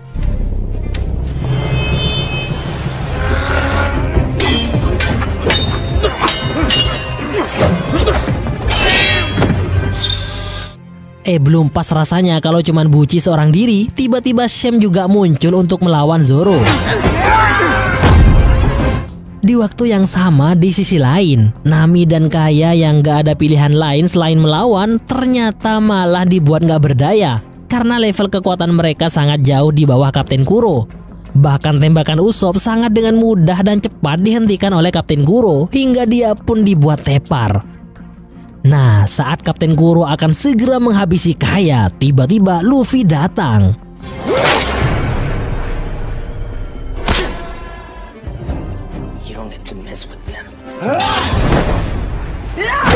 Kecepatan Kapten Kuro sungguh luar biasa hingga Luffy nggak berdaya melawannya. Sebab Kapten Kuro bergerak ke sana kemari sambil menjatuhkan mental Luffy. Luffy yang semakin marah malah semakin menenangkan jiwanya dan mulai memejamkan mata untuk fokus mendengarkan pergerakan Kapten Kuro. Pukulan telak dari Luffy membuat Kapten Kuro murka sehingga ketenangan jiwanya terganggu dan ternyata itu adalah titik krusialnya. Oleh karena itu serangannya menjadi semakin tak terarah. Dengan senyum santuy, Luffy yang berhasil membuat Kapten Kuro nggak bisa bergerak langsung menggunakan jurus pamungkasnya. Ya, kekalahan Kapten Kuro membuat semuanya menjadi lega. Sementara itu di sisi lain, Zoro sudah mengalahkan Shem dan Buci. Di momen itulah Nami yang mendesak Luffy agar segera pergi dari sini mengingat angkatan laut sudah mengetahui keberadaan mereka membuat Luffy kebingungan karena saat itu mereka masih belum memiliki kapal. Nah itulah saat di mana Kaya memberikan mereka salah satu dari kapalnya Yang mana kapal itu adalah kapal yang memang sangat diinginkan oleh Luffy Ya apalah artinya sebuah kapal dibandingkan dengan nyawa kaya yang sudah diselamatkan oleh Luffy dan kawan-kawannya. Kepala kapal yang mirip Mary ini membuat Luffy menamai kapal ini dengan nama Going Mary untuk mengenang orang yang spesial bagi kaya sekaligus yang telah mengelola bisnis ini. Dengan ini, kapal Going Mary resmi menjadi milik kru bajak laut topi jerami. Nah, inilah momen di mana Luffy dengan tanpa ragu mengajak Usopp untuk menjadi bagian dari bajak lautnya. Yang pada dasarnya, Usopp memang ingin sekali bergabung dengan Luffy. Akan tetapi, dia masih memikirkan sekaligus khawatir dengan Kaya jika dia meninggalkan desa sirup ini. Melihat kebingungan Usopp, Kaya menghampirinya dan memberikan dukungan kepadanya untuk memulai petualangan yang sesungguhnya bersama Luffy dan kawan-kawannya. Sementara untuk saat ini, Kaya berencana untuk melanjutkan sekolah di kedokteran. Namun sebelum berpisah, Kaya memberikan kesan yang sangat berarti bagi Usop. They, they do know I'm the captain, right? Akhirnya, Luffy akan melanjutkan perjalanan menuju Grand Line dengan kapal baru yang sangat luar biasa bersama Nami, Zoro, dan kru baru si penembak jitu bernama Usopp. Zoro dengan ruangan penuh dengan minuman, Nami si navigator, dan sang kapten Monkey D. Luffy. Di tempat lain, Meskipun Kobe menginformasikan kegagalannya dalam menangkap Luffy dengan wajah penuh penyesalan, siapa sangka Gap malah mengapresiasinya karena telah membuat kapal bajak laut baru Luffy keluar dari desa Sirup, sehingga cukup berdekatan dengan kapal milik Gap. Oleh karena itu, Gap dengan cepat dan dengan senang hati akan melakukan perburuan. Tanpa disadari, saat Luffy dan yang lainnya dalam suasana santuy yang gembira, bahkan sedikit meributkan lambang bajak laut yang dibuat Usop, saat itulah tiba-tiba mereka mendapatkan serangan tiba-tiba. Momen ini adalah pertama kalinya Luffy mendapatkan serangan meriam di tengah laut yang ternyata berasal dari kapal angkatan laut. Namun betapa terkejutnya semua orang saat Luffy mengatakan bahwa angkatan laut yang mengejar mereka adalah kakeknya. Grandpa? Grandpa? Kemudian bagaimana dengan nasib Kapten Kuro? Dengan menggunakan perahu kecil, sang kapten bajak laut kucing hitam itu mengarungi lautan dalam keadaan yang memprihatinkan. Di tempat lain, bagi yang sebelumnya dihempaskan oleh Luffy dan tubuhnya dipisah-pisah, kini kembali ke markasnya untuk menyambung kembali bagian-bagian tubuhnya yang dikunci dalam banyak kotak. Dalam suasana hati panas itu, tiba-tiba muncul seseorang yang menghalangi cahaya lampu hingga membuatnya makin jengkel. Namun setelah melihat ke belakang, ternyata orang itu bukanlah manusia biasa, melainkan makhluk yang disebut manusia ikan bernama Kurobi. Dia diperintahkan untuk menangkap Bagi. Setelah beberapa waktu, akhirnya Bagi dikejutkan dengan kemunculan seorang manusia ikan dengan hidung gergaji di hadapannya. Dia bernama Arlong.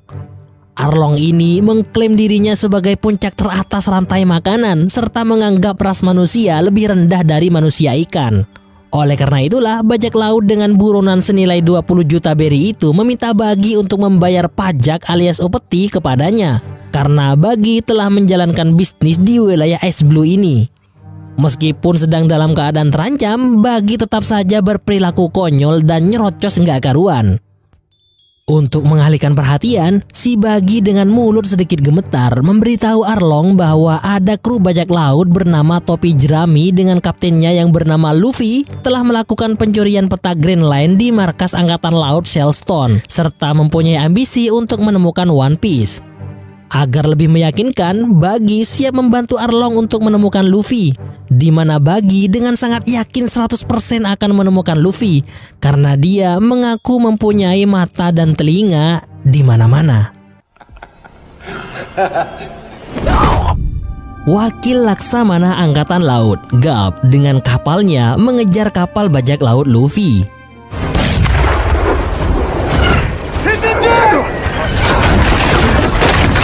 Tembakan meriam angkatan laut mengenai sisi kapal hingga membuat keadaan semakin gawat darurat.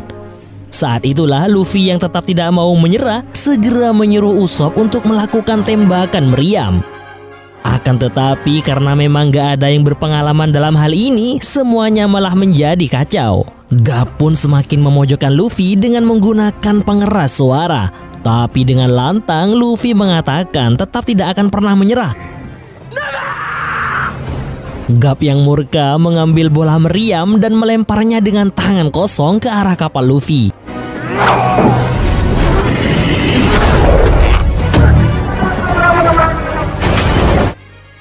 Wow, betapa murkanya Gap melihat Luffy bisa mengembalikan tembakannya dengan cara yang tak biasa. Akhirnya Luffy dan kawan-kawan bisa kabur dari kejaran Gap yang ternyata saat itu wajahnya menyiratkan suatu kebanggaan sebagai seorang kakek. Di mana pada beberapa tahun yang lalu, Luffy yang masih kecil sedang bermain bajak laut-bajak lautan karena ambisinya yang ingin menjadi bajak laut. Nah saat itu tiba-tiba Gap yang melihat itu langsung murka karena sebagai seorang kakek dia menginginkan cucunya menjadi angkatan laut sama seperti dirinya. Eh ini malah mau menjadi bajak laut, musuh angkatan laut.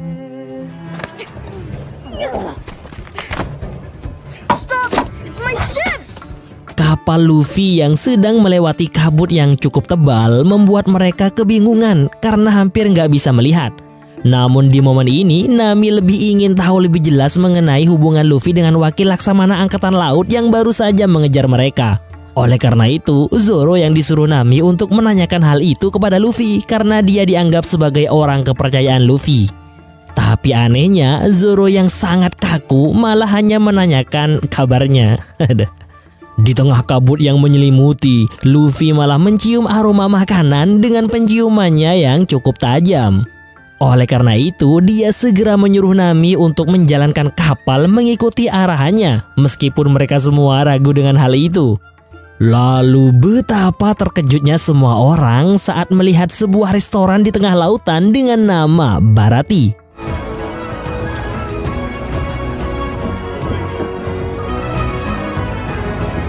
Pemandangan ruangan yang cukup estetik menghiasi restoran ini, membuat Luffy semakin bersemangat untuk makan. Nah, di sinilah akan diperkenalkan seorang koki muda berbakat dengan gayanya yang elegan.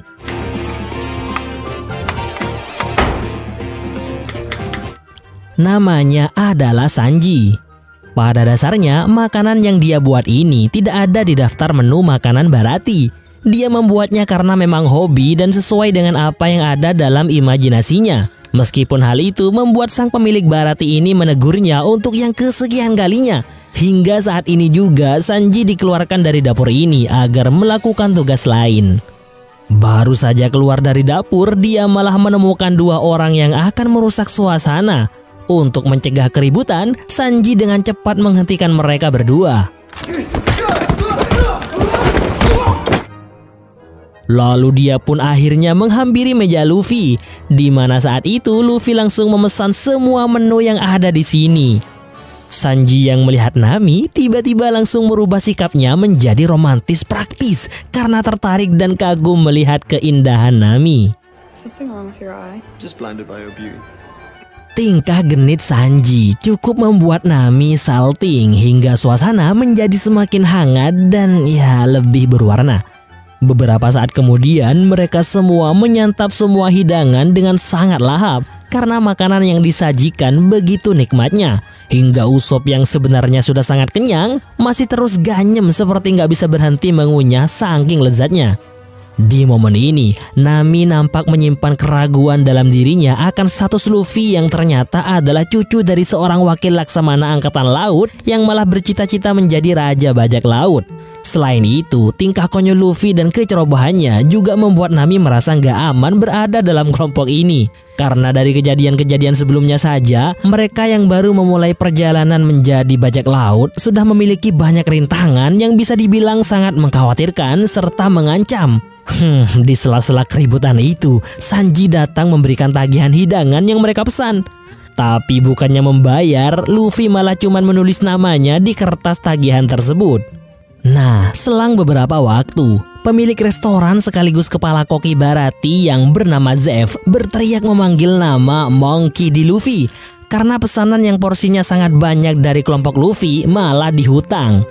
Tapi dengan raut wajah tanpa dosa, Luffy mengatakan akan membayarnya setelah dia menemukan One Piece dan menjadi raja bajak laut. Saking gemesnya Zev kepada Luffy, dia langsung menariknya untuk ikut bersamanya ke dapur.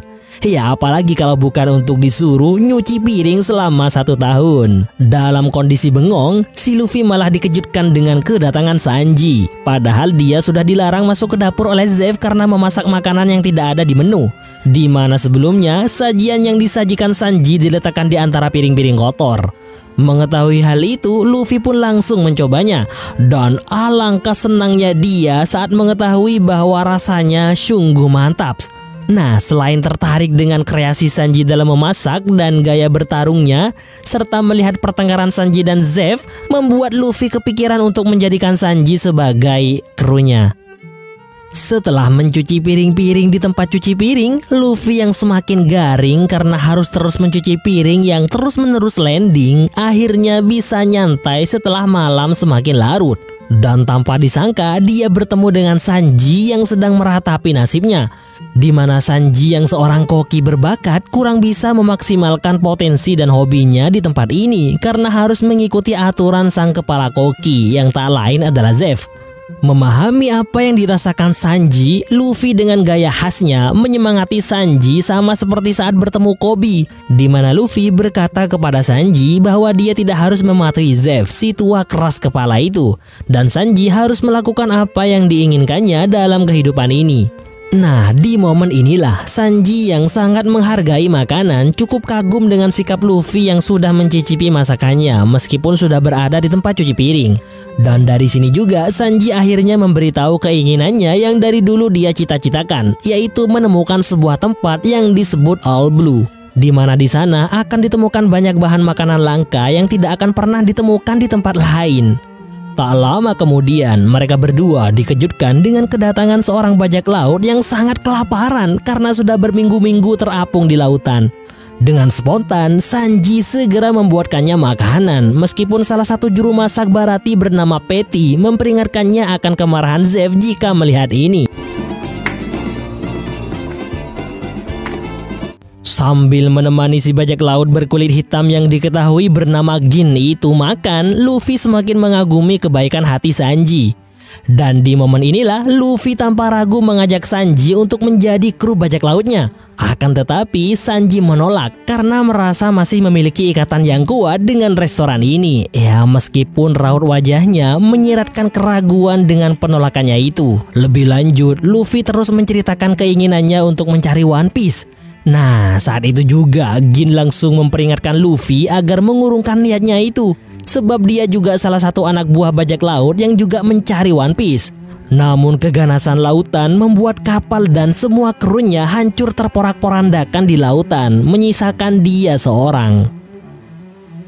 Di sisi lain, beberapa waktu sebelumnya, kapal angkatan laut Gap yang mengalami kerusakan akibat ulah Luffy masih dalam mode perbaikan di mana hal itu akan memakan waktu sekitar 1 sampai 2 harian.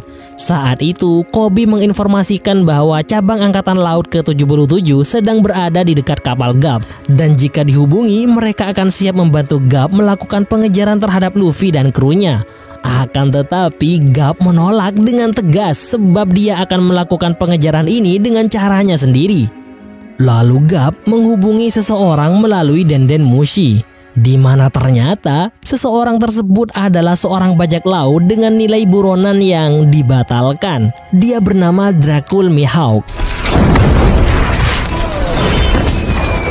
Sambil berkomunikasi jarak jauh, Mihawk tetap melakukan kegiatannya, bertarung santuy melawan kelompok bajak laut bernama Creek dengan kaptennya yang bernama Don Creek.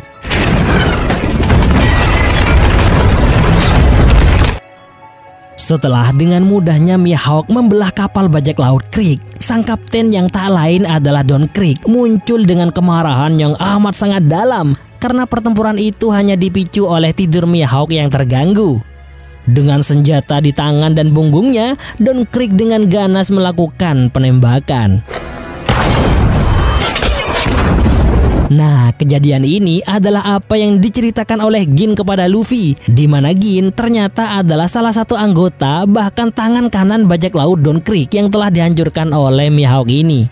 Setelah memberitahu Mihawk bahwa tugasnya adalah menangkap seorang bajak laut baru bernama Luffy di sebuah wilayah bernama Sambas tempat Barati berada, Gap meminta Mihawk untuk membawa Luffy hidup-hidup bagaimanapun caranya. Eh, tanpa diduga, Kobi malah mendengarkan percakapan Gap di balik pintu. Malam harinya, Kobi yang penasaran dengan nama Mihawk menanyakannya kepada Helmepo. Spontan Helmepo mengatakan bahwa Mihawk itu adalah bajak laut dengan keahlian pedang yang sangat luar biasa, sehingga disebut sebagai pendekar pedang terhebat di dunia. Selain itu, Helmepo melanjutkan bahwa dia merupakan salah satu dari tujuh bajak laut yang bersekutu dengan pemerintah dunia yang dikenal dengan Oka Shichibukai atau tujuh panglima perang lautan. Maka dari itu, setelah resmi dinyatakan sebagai Shichibukai, nilai buronan tujuh bajak laut yang dianggap sangat berbahaya ini secara otomatis langsung dibatalkan alias tidak lagi menjadi buronan. Mendengar itu, Kobi langsung ngelek. Nggak bisa diterima oleh akalnya. Bagaimana bisa angkatan laut melakukan kerjasama dengan bajak laut? Kepolosan Kobi sangat begitu nampak dari raut wajahnya, menandakan dia masih perlu banyak belajar serta pengalaman tentang cara kerja dunia ini. Rasa penasaran itu membuat Kobi memberanikan diri untuk menanyakannya langsung kepada sang wakil Laksamana yang tak lain adalah Gap. Dengan penuh keseriusan, Kobi mencerca Gap dengan pertanyaan seputar si Cibukai. Melihat antusias sekaligus kesungguhan dari Kobi, membuat Gap yang sebenarnya masih belum selesai menyantap makanannya terpaksa harus berhenti untuk menceritakan sekaligus mengajarkan Kobi tentang arti sebuah prinsip pada diri angkatan laut yang baik. Di mana dalam dunia ini sesuatu kadang tidak berjalan sesuai dengan jalurnya. Sebab terkadang yang terlihat baik belum tentu baik, begitu juga sebaliknya. Tapi sebagai angkatan laut, GAP harus tetap menegakkan keadilan meski harus dengan cara yang berbeda. Dan Kobi harus siap menjalani kehidupan sebagai anggota angkatan laut yang baik meskipun akan ada jalur lain yang harus ditempuh dalam perjalanan karirnya. Kembali ke Barati, di mana di saat Luffy sedang menjadi pelayan dadakan, Zoro, Nami, dan Usopp sedang menikmati indahnya malam di Barati dan tentunya dengan obrolan Nami yang masih seputar identitas Luffy. Lalu Nami menawarkan diri untuk memesan sekaligus mentraktir minuman untuk mereka berdua. Namun selain itu, ternyata secara diam-diam Nami memesan transportasi laut untuk pergi ke sebuah pulau bernama Konomi. Kemudian di saat Usop sedang menikmati dugem seorang diri tanpa beban sedikit pun, Zoro dan Nami mulai bertukar kisah tentang kehidupan mereka berdua. Di mana satu sama lain akan menebak kepribadian masing-masing. Jika berhasil ditebak, maka dia harus minum. Ini adalah momen di mana Nami mulai sedikit menampakkan kesedihannya saat menceritakan tentang keluarga dan desanya yang bernama Koko. Begitu juga dengan Zoro yang mengisahkan bahwa dia memiliki teman yang sangat berharga di saat dia masih bocil dulu. Saat sedang asyik itulah tiba-tiba di hadapan Usop muncul seseorang yang menanyakan pemuda bernama Luffy. Dia tak lain adalah Dracul Mihawk. Akhirnya dengan gaya sok kerennya Usopp membawanya ke Zoro dan Nami. Mihawk yang menanyakan Luffy sontak membuat Nami berbohong karena khawatir akan terjadi hal yang buruk. Namun saat Zoro menoleh, betapa terkejutnya dia karena ternyata orang itu adalah Mihawk, seorang pendekar pedang terhebat yang sejak dulu menjadi ambisinya untuk dikalahkan. Lalu dengan tanpa ragu, Zoro menantangnya untuk berduel demi meraih gelar pendekar terhebat dari Mihawk. Sebagai seseorang dengan gelar Shichibukai, Mihawk tak langsung menerima begitu saja tantangan itu karena dia juga harus mengetahui lawan yang akan dia hadapi. Tapi melihat keseriusan Zoro dan juga track recordnya sebagai pemburu bajak laut, Mihawk pun setuju untuk melakukan duel pada esok hari pada subuh. Dan tak bisa dipungkiri hal itu sangat membuat Nami ketakutan. Sementara itu, Luffy yang masih saja mencuci piring tiba-tiba dikejutkan dengan kedatangan Zeff hingga beberapa piring terjatuh. Zeff cukup terkesan dengan Luffy yang meskipun mengaku sebagai bajak laut tapi dia masih mau mencuci piring untuk menebus hutangnya. Tapi tanpa diduga, Luffy malah membicarakan tentang Sanji hingga membuat Zeff cukup kebingungan karena nggak ada hubungannya sama sekali dengan pembicaraan ini. Kemudian Luffy terus menyampaikan keinginan Sanji yang memiliki impian menjadi koki terbaik di dunia. Bahkan Luffy juga menceritakan kebaikan Sanji yang telah memberi makan seorang bajak laut kelaparan. Luffy memang sangat menghargai impian seseorang meskipun itu oleh sebagian orang dianggap konyol dan bahkan mustahil. Ekspresi wajah Zeff ternyata sedikit memperlihatkan kepeduliannya terhadap Sanji. Tak lama kemudian, tiba-tiba mereka berdua dikejutkan dengan kedatangan Usop dengan ekspresi gawat darurat. Setelah sampai di kapal, Luffy akhirnya tahu bahwa Zoro akan melakukan duel dengan seseorang yang diklaim sebagai orang suruhan kakeknya Luffy. Situasi saat itu cukup panas karena Nami ternyata cukup peduli dengan Zoro.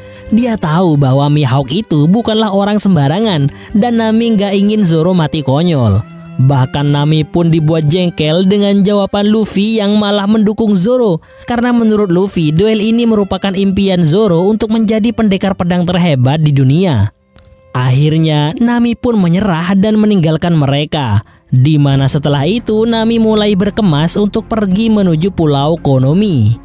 Sementara itu, Zoro terlihat sedang menenangkan dirinya untuk memfokuskan diri dalam simulasi pertarungan sebagai persiapan untuk perduelan.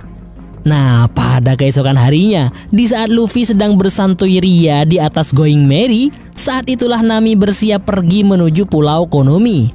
Namun ikatan batinnya dengan bajak laut topi jerami saat ini semakin kuat, sehingga hal tersebut membuatnya mengurungkan niatnya. Bersamaan dengan itu, perduelan pun akan segera dimulai, di mana Luffy dan Usopp akan menjadi penonton setia menyaksikan temannya mempertaruhkan segalanya dalam duel ini.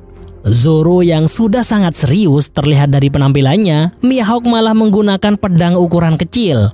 Tapi akhirnya perduelan pun tetap dimulai.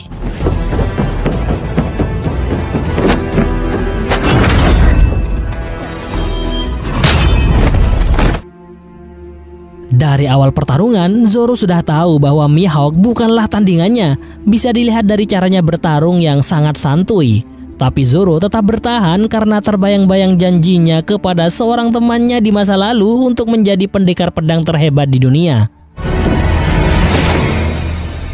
Setelah terkena tusukan pedang kecil Mihawk, Zoro semakin memperlihatkan semangat bertarungnya hingga hal itu membuat Mihawk memberinya sebuah kehormatan untuk merasakan pedangnya yang bernama Yoru, salah satu pedang terkuat di dunia. Zoro pun kemudian menggunakan tiga pedangnya.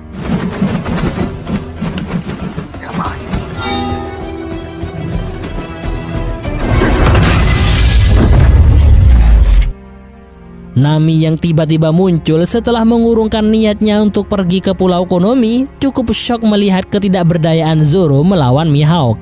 Bahkan setelah dua pedangnya hancur alias protol, Zoro tetap tidak mau menyerah sampai titik darah penghabisan. Karena jika dia masih bisa bergerak bebas, itu merupakan sebuah aib.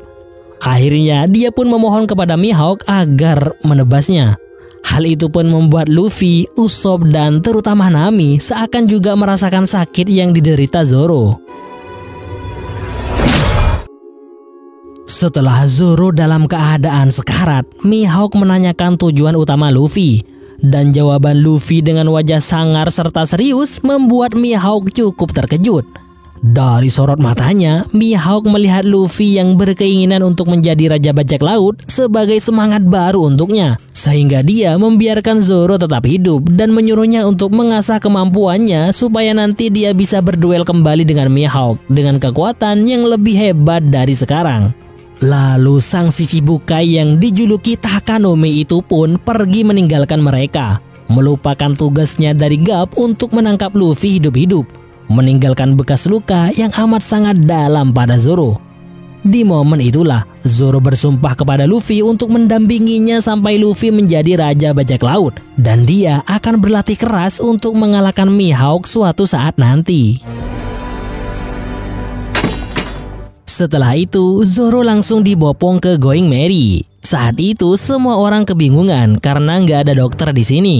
Akhirnya Nami menyuruh Luffy untuk mencari dokter di Barati, berharap ada dokter dari salah seorang pengunjung di sana. Sementara itu, di saat yang sama, Sanji memasak lagi di dapur karena Petty salah satu juru masak sedang teler sebab banyak minum.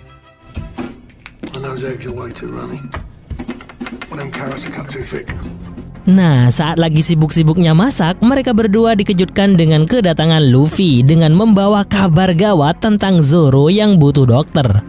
Zeff hanya bisa memberikan informasi bahwa dokter terdekat ada di sebuah pulau bernama Konomi yang jaraknya bisa menempuh 1 sampai 2 hari dari sini. Lalu dengan spontan, Sanji segera menyudahi pekerjaannya untuk pergi ke kapal Luffy akan tetapi Zeff melarangnya hingga terjadi perdebatan yang pada akhirnya membuat Zeff mengalah. Kemudian dia akhirnya juga ikut ke kapal Luffy dengan membawa beberapa peralatan. Saat sampai di sana, ternyata Zeff lah yang akan mengobati Zoro. Namun caranya bikin semuanya geleng-geleng kepala, yaitu menggunakan kulit ikan untuk menyembuhkan luka Zoro. Di mana menurut Zeff, Zoro sekarang mengalami koma, sehingga menyarankan agar teman-temannya selalu mengajaknya ngobrol agar Zoro tetap bertahan hidup. Beberapa waktu kemudian, terlihat Sanji menyiapkan makanan untuk kru bajak laut Luffy. Sementara itu, Luffy sendiri sedang menyiapkan pedang Wado Ichimonji milik Zoro sebagai persiapan saat Zoro sudah sadar nanti. Tapi mungkin akan cukup lama karena lukanya cukup parah. Dari awal, Luffy memang sedikit ragu untuk memperbolehkan Zoro berduel. Namun sebagai kapten yang sangat menghargai impian krunya, Luffy pun mendukungnya. Di momen ini, Sanji mengatakan apa yang sering disampaikan oleh Zeff, yaitu seorang kapten harus bisa mengambil keputusan dengan bijak dan itulah yang membedakan seorang kapten dengan kru yang lain. Dari situ juga Luffy akhirnya tahu bahwa ternyata Zeff dulunya adalah seorang kapten bajak laut bernama Cook. Dan julukannya adalah si kaki merah karena sepatu bootnya selalu dipenuhi oleh darah musuhnya. Luffy yang penasaran bagaimana Sanji bisa bertemu dengan Zeff akhirnya membuat Sanji menceritakan kisah masa lalunya. Itu sekitar 9 tahun yang lalu, sebuah kapal pesiar bernama Orbit di mana saat itu Sanji menjadi salah satu koki peserta pelatihan di sana. Malam itu angin kencang menyelimuti luar kapal. Sanji sedang membuat velute, semacam masakan mewah yang akhirnya membuat koki lain menegurnya karena masakan itu tidak boleh disajikan di kapal ini. Mendengar itu, Sanji yang kesal mengatakan akan menyajikannya saat sudah sampai di All Blue. Ya, itu malah semakin membuat koki lain menertawakannya karena tempat itu hanyalah mitos. Tak lama kemudian, kapal itu mendapat serangan dari bajak laut yang tak lain adalah bajak laut Cook. Suasana menjadi kacau dan berantakan. Sang kapten yang tak lain adalah Zeff memasuki ruang dapur dan menemukan velute buatan Sanji lalu mencicipinya. Dirasa rasanya kurang kuat, dia menambahkan bubuk rempah yang disebut oregano ke dalamnya. Melihat hal itu, Sanji yang bersembunyi di balik meja dan tak terima cita rasa masakannya dirusak langsung menyerang Zeff. Namun yang terjadi, nyawanya malah menjadi terancam. Saat terpojok itu, Sanji mengatakan bahwa tidak akan mati sampai dia menemukan All Blue. Mendengar itu dari mulut bocil, Zeff terkejut. Tapi bersamaan dengan itu, tiba-tiba badai menerpa kapal orbit sekaligus kapal bajak laut Cook hingga porak-poranda. Keesokan harinya, ternyata Sanji masih selamat dan tanpa disangka di sana juga ada Zeff yang juga selamat. Tapi hanya mereka berdua saja karena yang lainnya sudah tewas. Untuk itu, dalam rangka berharap menunggu ada kapal yang lewat, Zeff sudah menyiapkan dua karung sebagai persediaan makanan mereka berdua. Di mana karung kecil diberikan kepada Sanji, sedangkan yang besar untuk Zeff. Hal itu membuat Sanji nggak terima karena merasa tidak adil. Tapi mau nggak mau dia harus menerimanya. Kemudian Sanji disuruh untuk menempati sisi yang berbeda dengan Zeff dengan alasan agar bisa memantau dan melihat jika ada kapal lewat. Sehari, dua hari, hingga berminggu-minggu nggak ada satupun kapal yang terlihat. Meskipun ada kapal, karena malam itu hujan sehingga teriakan Sanji nggak bisa didengar. Semakin hari, persediaan makanan semakin menipis hingga pada hari ke-70 alias 2 bulan 10 hari, makanan Sanji sudah habis tanpa sisa. Dia yang sudah mulai menggila berencana akan mengambil makanan milik Zeff karena karungnya lebih besar, otomatis makanannya juga pasti lebih banyak. Dia juga sudah merencanakan pembunuhan kepada Zeff untuk mengambil makanan itu. Dengan sebilah pisau, dia perlahan menghampiri Zev dengan raut wajah penuh amarah. Akan tetapi, betapa terkejutnya Sanji saat melihat karung milik Zev ternyata masih utuh. Lalu setelah mengetahui bahwa isi karung itu ternyata adalah harta karun, semakin membuat Sanji terkejut dan hatinya mulai merintih. Belum lagi saat Sanji mengetahui bahwa Zeff bertahan hidup dengan memakan kakinya sendiri, hati Sanji menjerit sehingga dia tak kuasa menahan lilangan air matanya. Zeff melakukan semua itu adalah untuk menyelamatkan Sanji. Sebab Sanji memiliki impian yang sama dengannya sebagai seorang koki, yaitu ingin menemukan All Blue. Sehingga mengingat usianya yang sudah tak muda lagi, Zev berharap impiannya itu bisa dilanjutkan dan diwujudkan oleh Sanji. Meskipun pada suatu saat nanti dia sudah tak lagi berada di dunia ini. Mendengar kisah menyedihkan Sanji dan Zev di masa lalu membuat Usopp dan Luffy termenung haru. Bahkan dapat menarik pelajaran berharga dari kisah Zev tentang pengorbanan dan kebijaksanaan. Sehingga Luffy semakin yakin untuk selalu menjaga dan melindungi teman-temannya. Sementara itu, Zoro yang masih belum sadarkan diri dibacakan sebuah kisah oleh Nami tentang seorang penjelajah bernama Montblanc Nolan. Can you imagine that? Losing a whole city of gold? Nami terhenti saat Luffy tiba-tiba nyeletuk dalam kisah yang dibacakan olehnya. Di mana saat itu, kemarahan Nami tidak dapat dibendung. Hal itu dikarenakan Luffy sebagai seorang kapten tidak bisa menghentikan perduelan Zoro dengan Mihawk yang jelas berada di level yang sangat jauh dengan Zoro, hingga mengakibatkan Zoro menjadi seperti sekarang ini.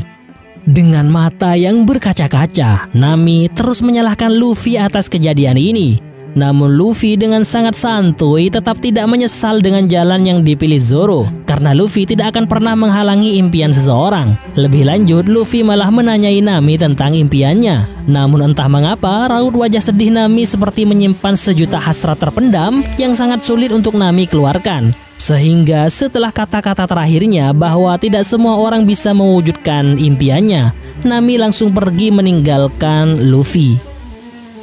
Di waktu yang sama, di kapal angkatan laut, Gap dikejutkan dengan penampakan Mihawk di ruangannya. Dan yang lebih mengejutkannya lagi, Mihawk membuat Gap jengkel setelah Mihawk mengatakan bahwa dia membatalkan penangkapan Luffy karena Mihawk sangat menghargai Zoro, serta melihat potensi dari kelompok bajak laut topi jerami yang mungkin saja akan berhasil menjadi bajak laut hebat. Nah, di luar ruangan, Kobi mendengar sesuatu yang sangat di luar perkiraannya bahwa Luffy ternyata adalah cucu dari Gap melalui perkataan Mihawk. Yang berarti Mihawk juga sudah tahu bahwa Luffy adalah cucu wakil Laksamana Angkatan Laut itu. Setelah Mihawk pergi, Gap yang masih dalam keadaan jengkel langsung mengobrak-abrik ruangannya. Kemudian Kobi masuk untuk membantu membereskan kekacauan itu. Saat itulah, Gap yang sudah tahu bahwa Kobi sudah tahu tentang hubungannya dengan Luffy, sekalian curhat kepada Kobi bahwa dia sangat mengharapkan Luffy menjadi angkatan laut yang hebat. Namun takdir berkata lain. Di momen ini, Kobi dengan nada yakin memberikan pemahaman kepada Gap tentang Luffy yang tidak akan pernah merubah impiannya untuk menjadi raja bajak laut. Sehingga dari situ Gap mulai sedikit sadar bahwa cucunya memiliki jalan hidupnya sendiri. Akhirnya, setelah itu, Gap mengumpulkan semua angkatan laut, di mana ternyata Gap bukannya mengurungkan niatnya untuk menangkap Luffy dan kelompoknya, melainkan malah semakin membakar semangat para angkatan laut dalam upaya penangkapan bajak laut topi jerami dengan lebih gencar lagi. Nah, si Kobi mulai tegang tuh.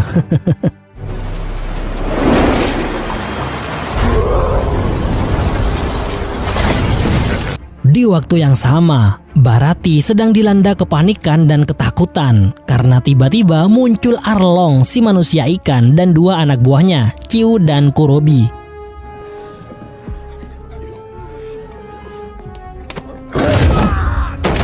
Tujuan Arlong ke sini ternyata adalah untuk mencari Luffy yang diketahui telah membawa peta Grand Line yang juga diinginkan oleh Arlong di mana saat di dalam Arlong menggertak semua orang yang ada di sana serta memproklamirkan bahwa manusia ikan lebih hebat dari manusia biasa.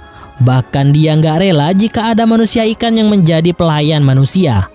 Tak lama kemudian, Zev yang tak ingin ada keributan yang lebih besar menawarkan makanan kepada Arlong secara gratis. Di mana saat itu, dari kejauhan, Nami yang melihat Arlong sedang mencari Luffy langsung bergegas untuk memberitahu Luffy. Saat itu, Luffy yang sedang memikirkan kata-kata untuk menghibur Zoro yang sedang gak sadarkan diri, tiba-tiba dikejutkan dengan kehebohan Nami yang menyuruhnya agar segera kabur dari sini. Karena bajak laut dengan buronan tertinggi DS Blue sedang mencarinya. Akan tetapi bukan Luffy namanya kalau kabur dalam situasi seperti itu. Di samping itu, Luffy juga tidak ingin restoran ini menjadi kacau akibat ulah manusia ikan itu. Akhirnya, sebelum pergi menemui Arlong, dia terlebih dahulu mempercayakan peta Green Line kepada Nami. Namun setelah Luffy meninggalkannya, saat itu Nami mengatakan sesuatu kepada Zoro bahwa pada dasarnya dia tidak ingin memiliki teman sebab pada akhirnya dia akan tetap meninggalkan mereka demi tercapainya tujuannya yang hingga saat ini masih belum ada yang tahu apa sebenarnya tujuan Nami. Kemudian akhirnya Luffy dengan lantang menanyakan keberadaan Arlong. Which one of you is Arlong? Pertemuan itu membuat Luffy penasaran kenapa Arlong bisa mengetahui keberadaannya di sini. Lalu Chu membuka karung yang dibawanya yang ternyata isinya adalah kepala bagi si badut. Di mana saat itu Bagi memberikan kejutan yang sangat tak terduga kepada Luffy, yaitu potongan kupingnya yang ternyata berada di topi jerami Luffy. Dan itu sudah ada sejak Luffy meninggalkan kota Orange, sehingga Bagi selalu mendengar apa saja yang Luffy bicarakan dengan teman-temannya. Di sini, Arlong bukan hanya meminta peta Green Line kepada Luffy, tapi juga upeti karena telah mengarungi lautan es blue yang diklaim adalah milik Arlong, sang manusia ikan. Tentu saja Luffy menolaknya dengan santuy, sehingga mau nggak mau mereka akan melakukan pertarungan. Namun tiba-tiba Arlong ditembak. Seketika itu juga Kurobi menyerang Zeff yang langsung terlempar cukup jauh. Saat itulah Sanji spontan bergerak cepat menyerang Kurobi.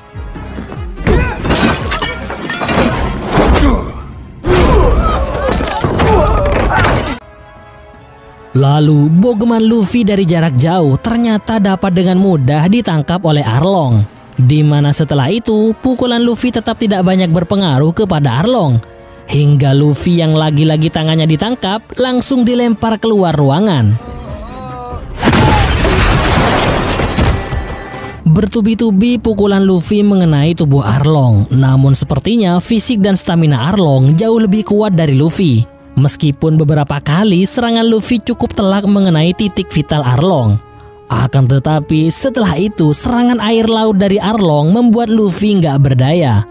Saat akan menerkam Luffy, tiba-tiba Nami muncul dan menghentikan Arlong. Tapi Arlong yang cukup kesal dengan sikap Luffy tetap akan menerkamnya. Hingga akhirnya Nami yang mengatakan bahwa dia sudah mendapatkan petanya menyuruh Arlong untuk segera melemparkan Luffy ke laut. Luffy yang masih sangat terkejut dengan tato di lengan Nami yang menunjukkan bahwa Nami benar-benar anggota bajak laut Arlong membuat Luffy pasrah dan tak bergeming sama sekali sehingga dia langsung diceburkan oleh Arlong. Namun dengan cepat seseorang langsung turun untuk menyelamatkan Luffy. Orang tersebut tak lain adalah Sanji. Setelah itu, Luffy masih shock dengan kenyataan pahit ini. Akan tetapi, dia masih berkeyakinan bahwa Nami bukanlah orang jahat. Sementara itu, Zeff yang termenung seorang diri melihat keadaan restorannya yang kocar-kacir dihampiri oleh Sanji yang langsung melakukan beres-beres. Nah, di momen inilah meskipun dengan nada marah-marah, Zeff memberi kode kepada Sanji bahwa dia harus keluar dari sini demi menggapai mimpinya menemukan All Blue. Dengan perasaan campur aduk antara marah dan sedih, spontan Sanji mengatakan akan mengikuti kelompok bajak laut topi jerami sambil lalu pergi meninggalkan Zeff. Di sisi lain, Luffy kembali ke tempat Zoro berbaring dengan perasaan hampa dan ya sedih. Dia sedih karena merasa telah kehilangan Nami dan peta Green Line. Oleh karena itu, melihat Zoro yang gak bangun-bangun membuat Luffy khawatir juga akan kehilangan Zoro. Namun ternyata Zoro mulai bersuara hingga membuat Luffy tak kuasa menahan ekspresinya. Setelah itu, dengan mantap, Zoro kembali menyatakan tekadnya untuk selalu mendampingi Luffy sampai menemukan One Piece bersama-sama. Walaupun angkatan laut, bajak laut, atau bahkan monster laut menghalangi jalannya, Zoro akan maju terus sampai Luffy menjadi raja bajak laut atau sampai titik darah penghabisan. Tak lama kemudian, Usop datang dengan gaya hebohnya, di mana saat mengetahui Zoro telah sadar, dia langsung bersemangat untuk segera melanjutkan perjalanan menuju Grand Line. Akan tetapi, sebelum ke lautan ganas itu, Luffy terlebih dahulu akan pergi mengejar Nami. Selain karena memang peta Grand Line ada padanya, Luffy juga tidak terima jika Nami pergi begitu saja tanpa penjelasan, sehingga Luffy akan tetap menganggap Nami sebagai nakamanya. Pada keesokan harinya, tibalah saatnya Luffy dan kawan-kawan meninggalkan Barati untuk segera mengejar Nami. Saat itulah Sanji muncul untuk menjadi bagian dari bajak laut topi jerami sesuai dengan tawaran Luffy sebelumnya. Di momen ini, Zeff melihat Sanji dengan mata berkaca-kaca, diikuti semua anak buahnya termasuk Patty. Meskipun secara dohir Zeff dan Sanji tiada hari tanpa bertengkar, namun jauh di dalam lubuk hati mereka berdua tersimpan rasa kasih dan sayang layaknya seorang ayah dan anak. You keep your feet dry. Kata-kata terakhir yang keluar dari mulut Zeff itu membuat Sanji tak kuasa menahan linangan air matanya hingga terus mengalir deras membasahi pipinya. Teringat saat pertama kali bertemu dengan Zeff yang rela berbohong agar Sanji bisa makan dalam kondisi yang sangat memprihatinkan. Sampai pada akhirnya Sanji tumbuh menjadi pria kuat bersamanya di Barati ini. Kini Sanji akan mengarungi lautan, berharap impiannya yang juga merupakan impian dari Zeff bisa terwujud, yaitu menemukan All Blue. Dan Zeff sangat yakin bahwa teman-temannya itu akan membawa Sanji menjalani hidupnya dengan penuh warna. Beberapa waktu setelah berlayar, Usopp dan Zoro kebingungan bagaimana cara mengejar Nami, ke mana dia akan pergi. Nah, saat itulah Luffy dengan santuy memberikan mereka sebuah kejutan tak terduga. Dan itu ternyata adalah bagi si badut. Hanya dia yang tahu tujuan Arlong dan Nami yang tak lain adalah sebuah pulau bernama Konomi. Perjalanan menuju pulau Konomi, bajak laut topi jerami dibantu bagi si badut. Luffy yang masih heran apakah Nami benar-benar anggota bajak laut Arlong ditepis langsung oleh Sanji yang dengan sangat mantap berdasarkan nalurinya menyatakan bahwa Nami harus diselamatkan. Namun Zoro menyela omongan Sanji sekaligus menyangkalnya karena tato Nami memang menunjukkan keanggotaan sebagai bajak laut Arlong. Nah, inilah awal mula Zoro dan Sanji menjadi sering beradu mulut. You don't know Nami. Sounds like you don't know her very well either, boss. Sebagai kapten, Luffy harus memastikan keadaan Nami. Jika dia benar-benar anggota bajak laut Arlong, maka Luffy akan merelakannya. Tapi jika tidak, Luffy akan berusaha mendapatkan Nami kembali. Tak lama kemudian, terlihat sebuah pulau yang tak lain adalah tujuan mereka, yaitu Pulau Konomi. Di sisi lain, di markas bajak laut Arlong, terlihat Nami sedang bermain kartu dengan para manusia ikan. Di mana saat itu Nami yang terus menang membuat lawannya mencurigainya telah berbuat curang. Akan tetapi tak lama setelah itu Kurobi datang untuk memberitahu Nami bahwa Arlong memanggilnya. Lalu dia pun langsung bergegas sambil lalu memasukkan kartu yang dia selipkan ke tasnya. Di sana juga terlihat tubuh bagi yang dipisahkan dari kepalanya. Sesampainya di ruangan Arlong, Nami masih belum mendapati siapa-siapa di sana. Di tengah-tengah ruangan tersebut terdapat sebuah peta yang cukup besar dan cukup berdebu. Peta tersebut ternyata adalah buatan Nami, bahkan semua peta yang ada di sini merupakan garapan Nami. Nah, melihat peta-peta itu membawa pikiran Nami kembali ke masa lalu. Tepatnya sekitar 8 tahun yang lalu, dua orang gadis berlari di tengah luasnya hamparan pohon jeruk dan bukan jeruk nipis tentunya. Sudah bisa ditebak nggak mungkin yang pakai baju biru itu Nami. Iya, dia Nojiko, kakak Nami. Begitu manis dan lucunya Nami dalam suasana kebahagiaan bersama kakak dan ibunya yang bernama Belemer. Keingintahuan Nami akan luasnya dunia membuatnya gemar sekali melihat peta hingga bahkan dia mencuri peta lautan es blue dari toko buku. Iya, buku peta yang sedang dia baca merupakan hasil mencuri dari toko buku di desa Koko ini. Sehingga saat ibunya mencurigainya, dia merasa takut. Perasaan campur aduk Nami membuatnya mencurahkan semua unek-unek di hatinya selama ini bahwa dia benci menjadi orang miskin yang setiap hari makan jeruk keprok dan bahkan bajunya saja merupakan bekas dari Nojiko apalagi untuk membeli barang mereka tidak mampu. Sang ibu yang berusaha menenangkan Nami agar membuatnya menjadi orang yang selalu bersyukur malah mendapatkan kata-kata yang cukup menyakitkan bahwa Nojiko dan dia bukanlah keluarga sungguhan.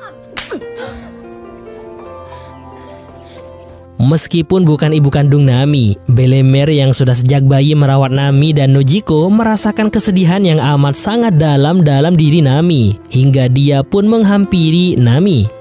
Lalu dengan raut wajah sedih, Belemer mengisahkan kepada Nami tentang masa lalunya beberapa tahun yang lalu.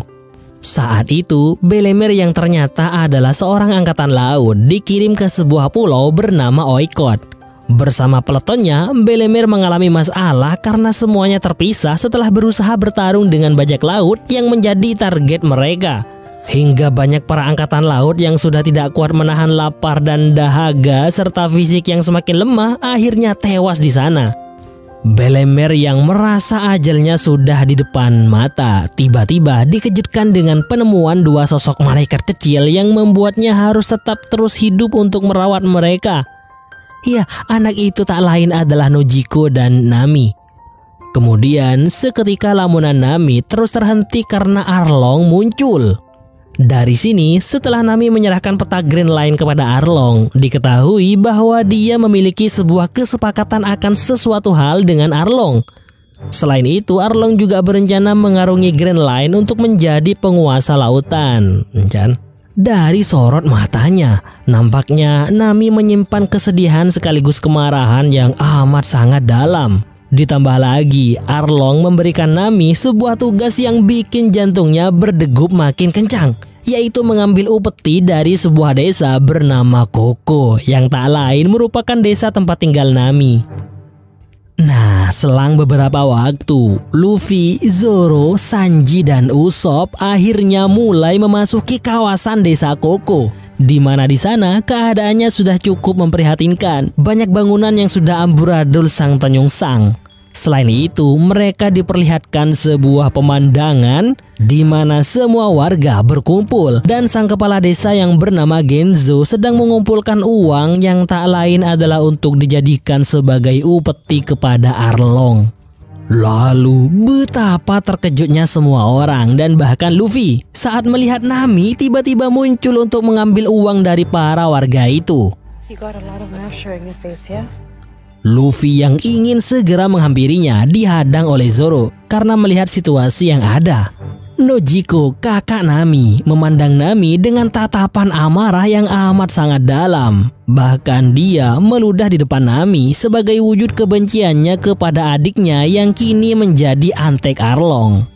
Kemudian Genzo selaku kepala desa Koko yang melihat Nami tepat berada di depannya dalam rangka meminta uang upeti tanpa terasa mengingatkannya kepada kejadian beberapa tahun yang lalu saat Nami masih kecil. Di mana saat itu, sesaat setelah Nami mengembalikan buku peta es blue yang dia curi, tiba-tiba dihebohkan dengan kedatangan bajak laut Arlong yang langsung memporak-porandakan seisi desa.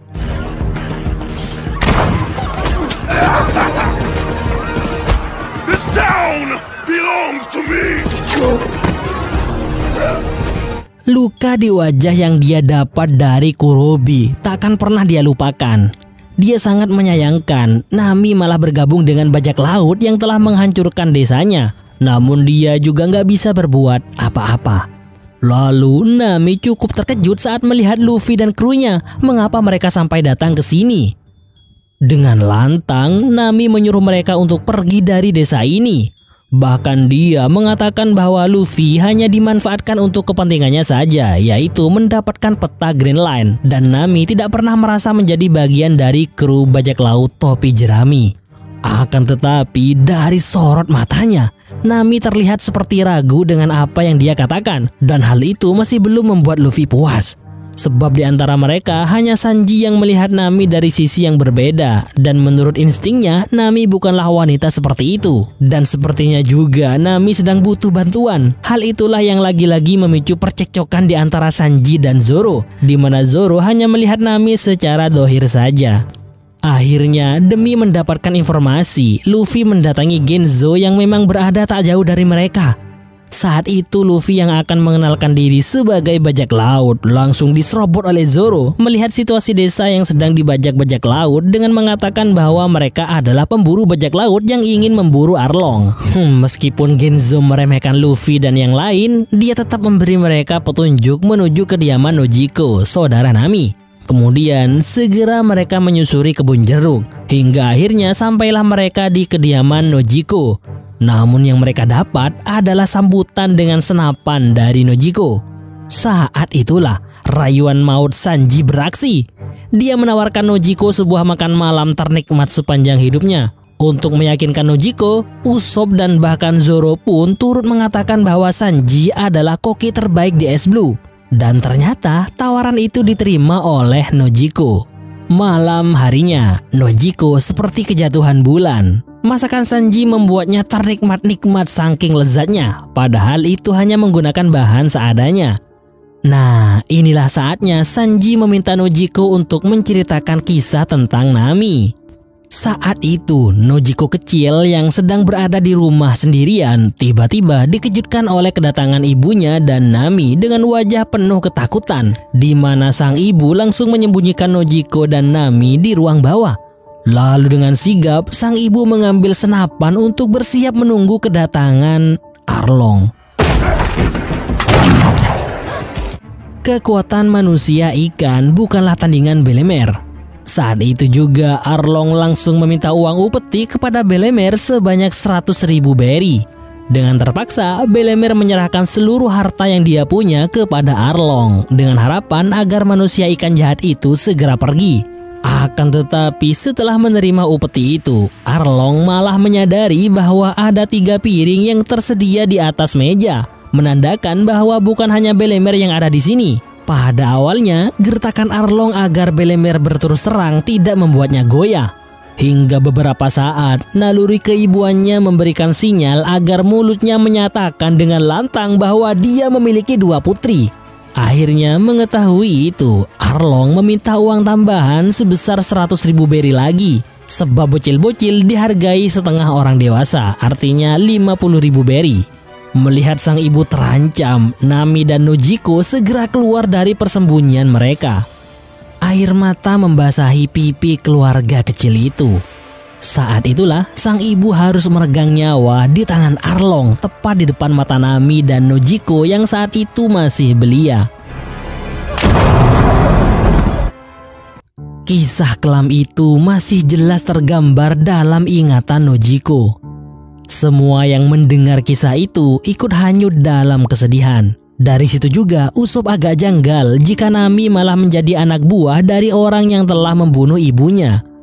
Luffy juga semakin yakin bahwa Nami tidak benar-benar menjadi anak buah Arlong, sehingga dia akan tetap pergi menemui Nami, meskipun Zoro kurang setuju dengan pemikiran Luffy. Namun begitu, Luffy malah semakin membuat Zoro yakin bahwa Luffy mengerti apa yang dirasakan Nami sama seperti saat pertama bertemu dengan Zoro, Usopp, dan Sanji, bahwa Nami mungkin memiliki suatu impian yang ingin diwujudkannya. Sementara itu, di dalam rumah Nojiko, Usopp sedang menyiapkan senjata untuk berjaga-jaga siapa tahu akan melawan manusia ikan. Namun dia malah terus diganggu oleh Bagi yang gak ada kerjaan. Hingga Sanji yang gak tahan dengan ocehannya pun langsung menyumpalnya dengan jeruks. Di malam yang sama, di markas Arlong, para manusia ikan sedang mengadakan pesta yang cukup meriah di mana saat itu Nami yang telah mendapatkan upeti dari desa Koko terlihat sudah berada di sana. Di momen itulah Nami ingin membicarakan sebuah kesepakatan yang dulu pernah Arlong buat dengannya. Akan tetapi saat itu tiba-tiba angkatan laut cabang ke-16 yang dipimpin oleh Kapten Nezumi datang untuk meminta uang pelicin kepada Arlong jika ingin terus melakukan apa yang dia inginkan. Dan diketahui bahwa hal seperti ini sudah lama terjadi. Namun kali ini Kapten Nezumi meminta uang pelicin yang lebih banyak dari biasanya karena menganggap kejahatan Arlong juga semakin besar sehingga semakin sulit untuk menutupinya. Arlong yang gak ingin mengganggu pesta anak buahnya mengajak Kapten Nezumi untuk mendiskusikan hal itu di ruangannya, di mana saat itu Arlong juga mengajak Nami. Kemudian Arlong memberikan uang pelicin dua kali lipat dari biasanya kepada Kapten Nezumi. Akan tetapi, maksud hati ingin memuji Arlong dengan menyematkan kata cerdas kepada manusia ikan itu, tapi yang ada malah membuat Arlong tersinggung sebagai manusia ikan. Melihat kemarahan di mata Arlong membuat Kapten Nezumi mulai gemetar. Arlong merasa terhina karena ras manusia ikan selalu menjadi budak bagi manusia. Meskipun Kapten Nezumi menyebutkan ada satu manusia ikan yang bahkan menjadi si Cibukai yang bernama Jinbei, namun hal itu tetap tidak bisa meredam kemarahan Arlong. Hingga akhirnya Kapten Nezumi pun mengembalikan separuh uangnya kepada Arlong, bahkan dengan sedikit tambahan. Barulah Arlong merasa sedikit lega dan sang kapten segera bergegas meninggalkan Arlong bersama para bawahannya. Nami yang sedari tadi hanya menyimak Kini dia langsung membahas kesepakatannya dengan Arlong, di mana Nami mengatakan bahwa dia sudah mempersiapkan uang sebesar 100 juta berry untuk diberikan kepada Arlong dan masih belum jelas untuk apa uang itu. Yang jelas itu adalah hal yang sangat penting bagi Nami. Akan tetapi setelah Nami pergi untuk mengambil uang yang telah dia simpan, Arlong dengan liciknya memerintah Kurobi agar menyuruh Kapten Nezumi untuk mengikuti Nami dan membiarkannya mengambil uang itu. Di dekat kuburan Belemer alias sang ibu, Nami mulai melakukan penggalian. Di mana dari situ sudah jelas bahwa Nami menyimpan semua hartanya di sana. Lalu betapa terkejutnya Nami saat tiba-tiba muncul Nojiko di hadapannya. Melihat kelakuan Nami di dekat kuburan sang ibu membuat Nojiko murka hingga sekop yang dia hantamkan tanpa sengaja mengenai kotak harta milik Nami. Dari situlah Nojiko meminta kejelasan kepada Nami apa yang sebenarnya dia lakukan. Akhirnya Nami pun mengisahkan awal mula dia menjadi anggota bajak laut Arlong.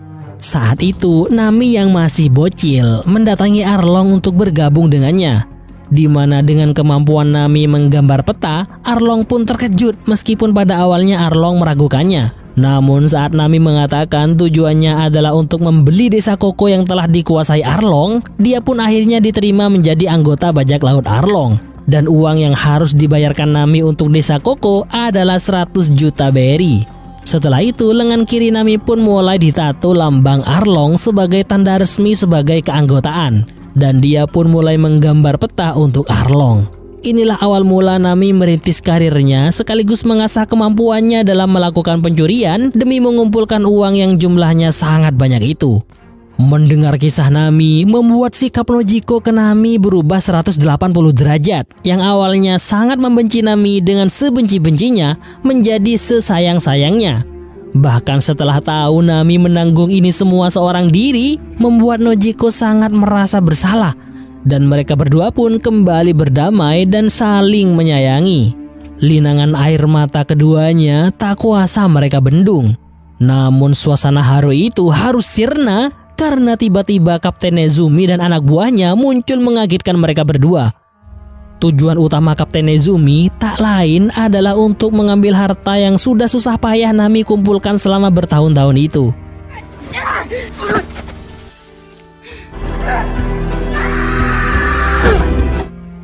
Nami yang tidak bisa berbuat apa-apa hanya bisa menangis serta menjerit histeris melihat angkatan laut kurang ajar itu membawa semua hartanya. Di waktu yang sama, Arlong yang memang jahat ternyata sudah mempersiapkan pasukannya untuk melakukan penyerangan di wilayah Konomi. Hmm, Nami yang sudah sangat putus asa juga sangat marah kepada Arlong hanya bisa menangis dan menusuk-nusuk lengan kirinya untuk menghilangkan tato Arlong saking murkanya Nami. Saat itulah Luffy muncul dengan tatapan mata serius dan juga menyiratkan kemarahan seakan bisa merasakan apa yang dirasakan oleh Nami. Meskipun pada awalnya Nami masih menyimpan rasa gengsi kepada Luffy yang sebelumnya telah dia usir, namun pada akhirnya dia menangis di hadapan Luffy seraya meminta tolong dengan penuh iba. Luffy yang juga sudah jengkel dengan kelakuan Arlong membuka topi jeraminya dan meletakkannya di kepala Nami, menandakan keseriusannya untuk menolong Nami serta sangat peduli dan percaya kepadanya. Sanji, Zoro, dan Usopp sudah bersiap juga untuk bersama-sama melakukan penyerangan ke markas Arlong. Di mana saat itu desa Koko ternyata telah menjadi lautan api. Beralih ke sisi lain, beberapa waktu sebelumnya, Gap dan pasukannya tiba di Barati. Tujuannya tak lain adalah untuk menanyakan tentang kelompok topi jerami. Di mana saat itu Zeff menyambut mereka dengan baik Tapi Zeff berkelit dan mengalihkannya kepada hal lain karena dia tahu anak tercintanya yaitu Sanji sudah menjadi bagian dari kelompok topi jerami untuk memulai petualangan barunya. Sehingga dia nggak ingin ada angkatan laut yang mengejarnya. Bogart yang mengira Gap tidak akan tertarik dengan tawaran Zeff untuk makan, ternyata salah besar karena Gap malah tertarik dengan daging premium yang akan diberikan secara gratis oleh Zeff.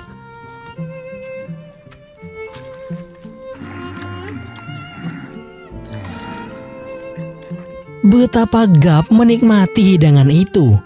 Zeff terus memberikan Gap suguhan yang mantap hingga pertanyaan Gap seputar Luffy seperti terabaikan. Bahkan Bogart pun cukup geram melihat Zeff, meskipun tetap Gap lah yang akan membuat keputusan. Nah, di saat Gap sedang dicekoki kisah-kisah Zeff di masa lalu, Helmepo dan Kobe sedang berada di ruangan lain untuk sekedar minum menikmati proses pengejaran ini. Mumpung ada di Barati, mereka nggak mau melewatkannya begitu saja. Di momen ini, Helmepo yang sangat penasaran kenapa Gap begitu gencarnya mengejar Luffy membuat Kobe nggak kuasa menahan diri untuk memberitahu sebuah rahasia yang hanya dia dan Gap yang tahu, yaitu bahwa Luffy adalah cucu dari Gap. Mendengar itu, Helmepo cukup terkejut dan di saat itu juga bartender yang melayani mereka ikut nimbrung pembicaraan mereka dengan memberikan sebuah tawaran yaitu informasi tentang keberadaan Luffy dengan beberapa imbalan. Hmm. Akhirnya setelah membayar sang bartender, Kobe dan Helmepo segera memberitahukan informasi itu kepada Gap yang masih saja mendengar kisah dari Zeff. Segera setelah itu, Gap langsung berpamitan kepada Zeff untuk segera menuju ke Pulauan Konomi, di mana sesaat sebelum berangkat, Zeff sedikit memohon kepada Gap agar memberikan kelompok topi jerami sebuah kesempatan. Singkat waktu, pada pagi hari yang cukup cerah, sampailah kapal Gap di pangkalan angkatan laut terdekat dengan wilayah Kepulauan Konomi, yaitu Angkatan Laut Cabang ke-16 yang tak lain dipimpin oleh Kapten Nezumi. Bogart yang bertemu dengan Kapten Nezumi langsung membawanya ke hadapan Gap.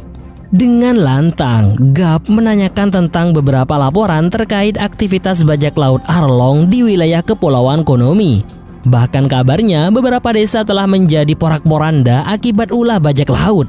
Ya sudah pasti Kapten Nezumi yang sudah menerima uang pelicin dari Arlong akan mengalihkan pembicaraan dan membelotkan kejadian yang sebenarnya. Bahkan dia nggak segan menyebut nama bajak laut topi jerami sebagai bajak laut kejam yang telah melakukan penyerangan brutal itu. Sontak saja hal itu memberikan reaksi kepada Kobe dan Helmepo yang sudah tahu sepak terjang Luffy yang tidak akan melakukan hal seperti itu. Apalagi Gap yang tak lain adalah kakek Luffy sendiri. Dari sini, Gap dan Bogart mulai menaruh curiga kepada Kapten Nezumi yang mimik wajahnya menunjukkan sebuah keangkuhan dan kebohongan. Di waktu yang sama, Luffy, Zoro, Sanji, Usopp, dan juga Nami akhirnya tiba di pusat desa Koko, di mana keadaannya sudah sangat memprihatinkan. Tatapan Nami sangat memperlihatkan kemarahan dan kesedihan yang amat sangat dalam. Lalu tiba-tiba para penduduk desa Koko bersama Genzo, sang kades, dan Nojiko menghampiri Nami. Tapi kali ini bukan untuk menghujat Nami, melainkan untuk membantunya mengalahkan Arlong. Ya, mereka semua merasa bersalah karena selama ini tidak pernah tahu apa yang Nami alami dan perjuangannya untuk membebaskan desa ini dari Arlong. Mereka siap mati untuk membantu Nami. Akan tetapi dengan tegas Nami melarang mereka untuk itu, Luffy dan kelompoknya lah yang akan memberantas para manusia ikan itu. Singkat waktu, sampailah Luffy dan kelompoknya di markas Arlong, di mana serangan tembakan bom asap Usop mengawali penyerangan ini. Lalu pertempuran pun dimulai.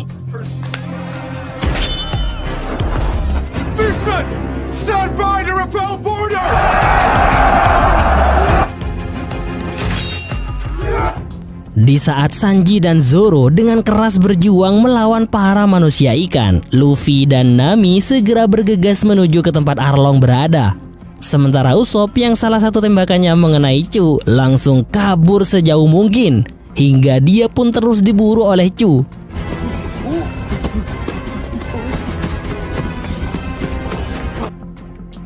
Saat di dalam, Nami yang sudah menemukan peta Grand Line dan ingin segera pergi, ternyata harus terhenti karena Arlong tiba-tiba muncul. Bahkan dengan sebilah pedang yang termasuk dalam jenis Zambato yang dia namai dengan Kiribachi. Setelah cukup banyak mencurahkan isi hatinya tentang semua ambisinya, Arlong pun langsung mengalungi Luffy dengan pedang besarnya. Namun tanpa diduga, Luffy yang kemarahannya sudah berada di puncak dapat dengan mudah mengeroposkan dan mematahkan pedang Arlong. Lalu setelah menyuruh Nami kabur, Luffy dan Arlong pun memulai perduelan babak kedua yang lebih keras dari sebelumnya. Pukulan Luffy seperti tidak bisa membuat Arlong kesakitan. Meskipun salah satu bogeman andalan Luffy mengenai mulut Arlong hingga bahkan merontokkan giginya, namun dengan mudah gigi-gigi gergaji itu dengan cepat kembali tumbuh. Kemudian sebuah bogeman Luffy yang meleset membuatnya berpikir kenapa nggak menghancurkan tempat ini saja. Dan hal itu dengan cepat dia lakukan.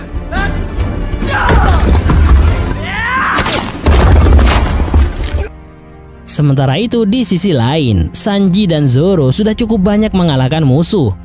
Hingga setelah para manusia ikan itu hampir habis dikalahkan, kepala bagi yang dibawa oleh Sanji selalu saja mengoceh untuk segera dikeluarkan. Hingga dia pun akhirnya bisa kembali ke tubuhnya yang diikat oleh kelompok Arlong. Dan setelah itu dia malah langsung kabur dengan tawanya yang menjengkelkan. Nah, tak lama kemudian Zoro dan Sanji dikejutkan dengan kemunculan Kurobi hingga mau gak mau mereka harus melawannya. Dengan jurus karate, Kurobi membuat Zoro dan Sanji cukup kewalahan melawannya. Akan tetapi saat Kurobi mengejek Nami, Sanji yang gak terima langsung marah dan mengerahkan serta mengeluarkan semua tenaganya. Hingga jurus-jurus tendangan dengan macam gaya pun dapat memojokkan Kurobi hingga akhirnya di tempat lain, Usop yang berusaha kabur dari kemarahan Chu berhasil menemukan tempat berlindung. Karena terus mendapatkan tembakan dari Chu, Usop pun berupaya untuk mengkonternya bahkan melakukan serangan balik. Namun serangan bertubi-tubi dari Chu membuatnya harus jatuh. Saat itu juga dia terlihat sudah nggak sadarkan diri dengan darah bersimbah di dadanya. Melihat Usop seperti itu membuat Chu pergi meninggalkannya.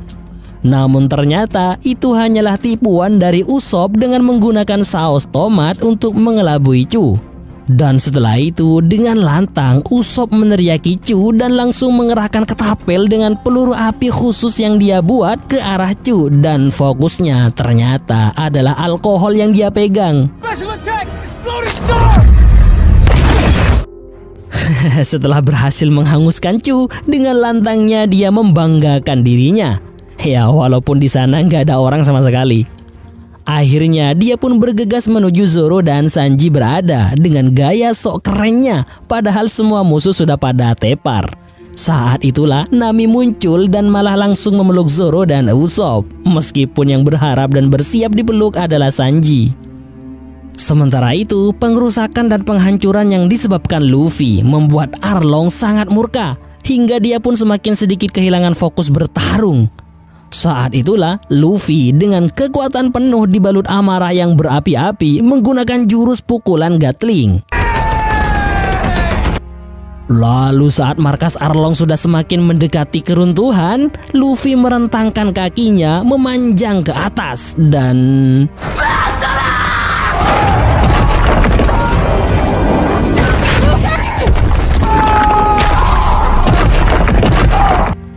Arlong pun akhirnya kalah bersamaan dengan kehancuran markasnya. Semua kru melihat fenomena itu dengan penuh keheranan. Bahkan dalam hati, tak bisa dipungkiri mereka semua sangat kagum dengan gaya Luffy memperjuangkan serta melindungi teman-temannya, membuat ikatan batin di antara mereka semakin erat. Lalu Luffy pun muncul dari bongkahan-bongkahan bangunan itu hingga membuat semuanya tersenyum bahagia. Bahkan Nami yang disebut namanya oleh Luffy tak kuasa menahan linangan air matanya. Malam pun tiba. Bagi para penduduk desa Koko, malam ini adalah malam terindah setelah beberapa tahun terbelenggu oleh bajak laut Arlong. Kini mereka merayakan kebebasan yang selama ini didamba-damba. Sanji memasak makanan yang lezat dan Usop menjadi pusat perhatian dengan kisah fiktifnya yang luar biasa karena dibalut dengan ekspresi dan intonasi yang sangat menjiwai. Bahkan tak segan dia memperagakan adegan dalam kisah yang dia bawakan terkait pertarungannya dengan bajak laut Arlong. Akan tetapi momen bahagia itu harus terhenti karena angkatan laut tiba-tiba muncul dan itu tak lain adalah Gap. Saat itu, Gap yang memerintahkan untuk menangkap kelompok Luffy malah ditentang oleh Kobe dan Helmepo. Tapi itu tidak menghalangi Gap untuk melanjutkan aksinya di mana kemudian beberapa prajurit maju untuk mengamankan kru topi jerami. Semuanya terdiam, bahkan Zoro mengurungkan niatnya untuk melesatkan pedangnya karena situasinya berbeda, tidak seperti biasanya yang benar-benar mengancam. Sekarang malah seperti aman-aman saja. Kemudian Gap menghampiri Luffy agar menyerah. Namun seperti biasa, Luffy menolaknya dengan tegas. Di momen itulah Gap mulai bersiap memberikan pelajaran kepada cucunya itu.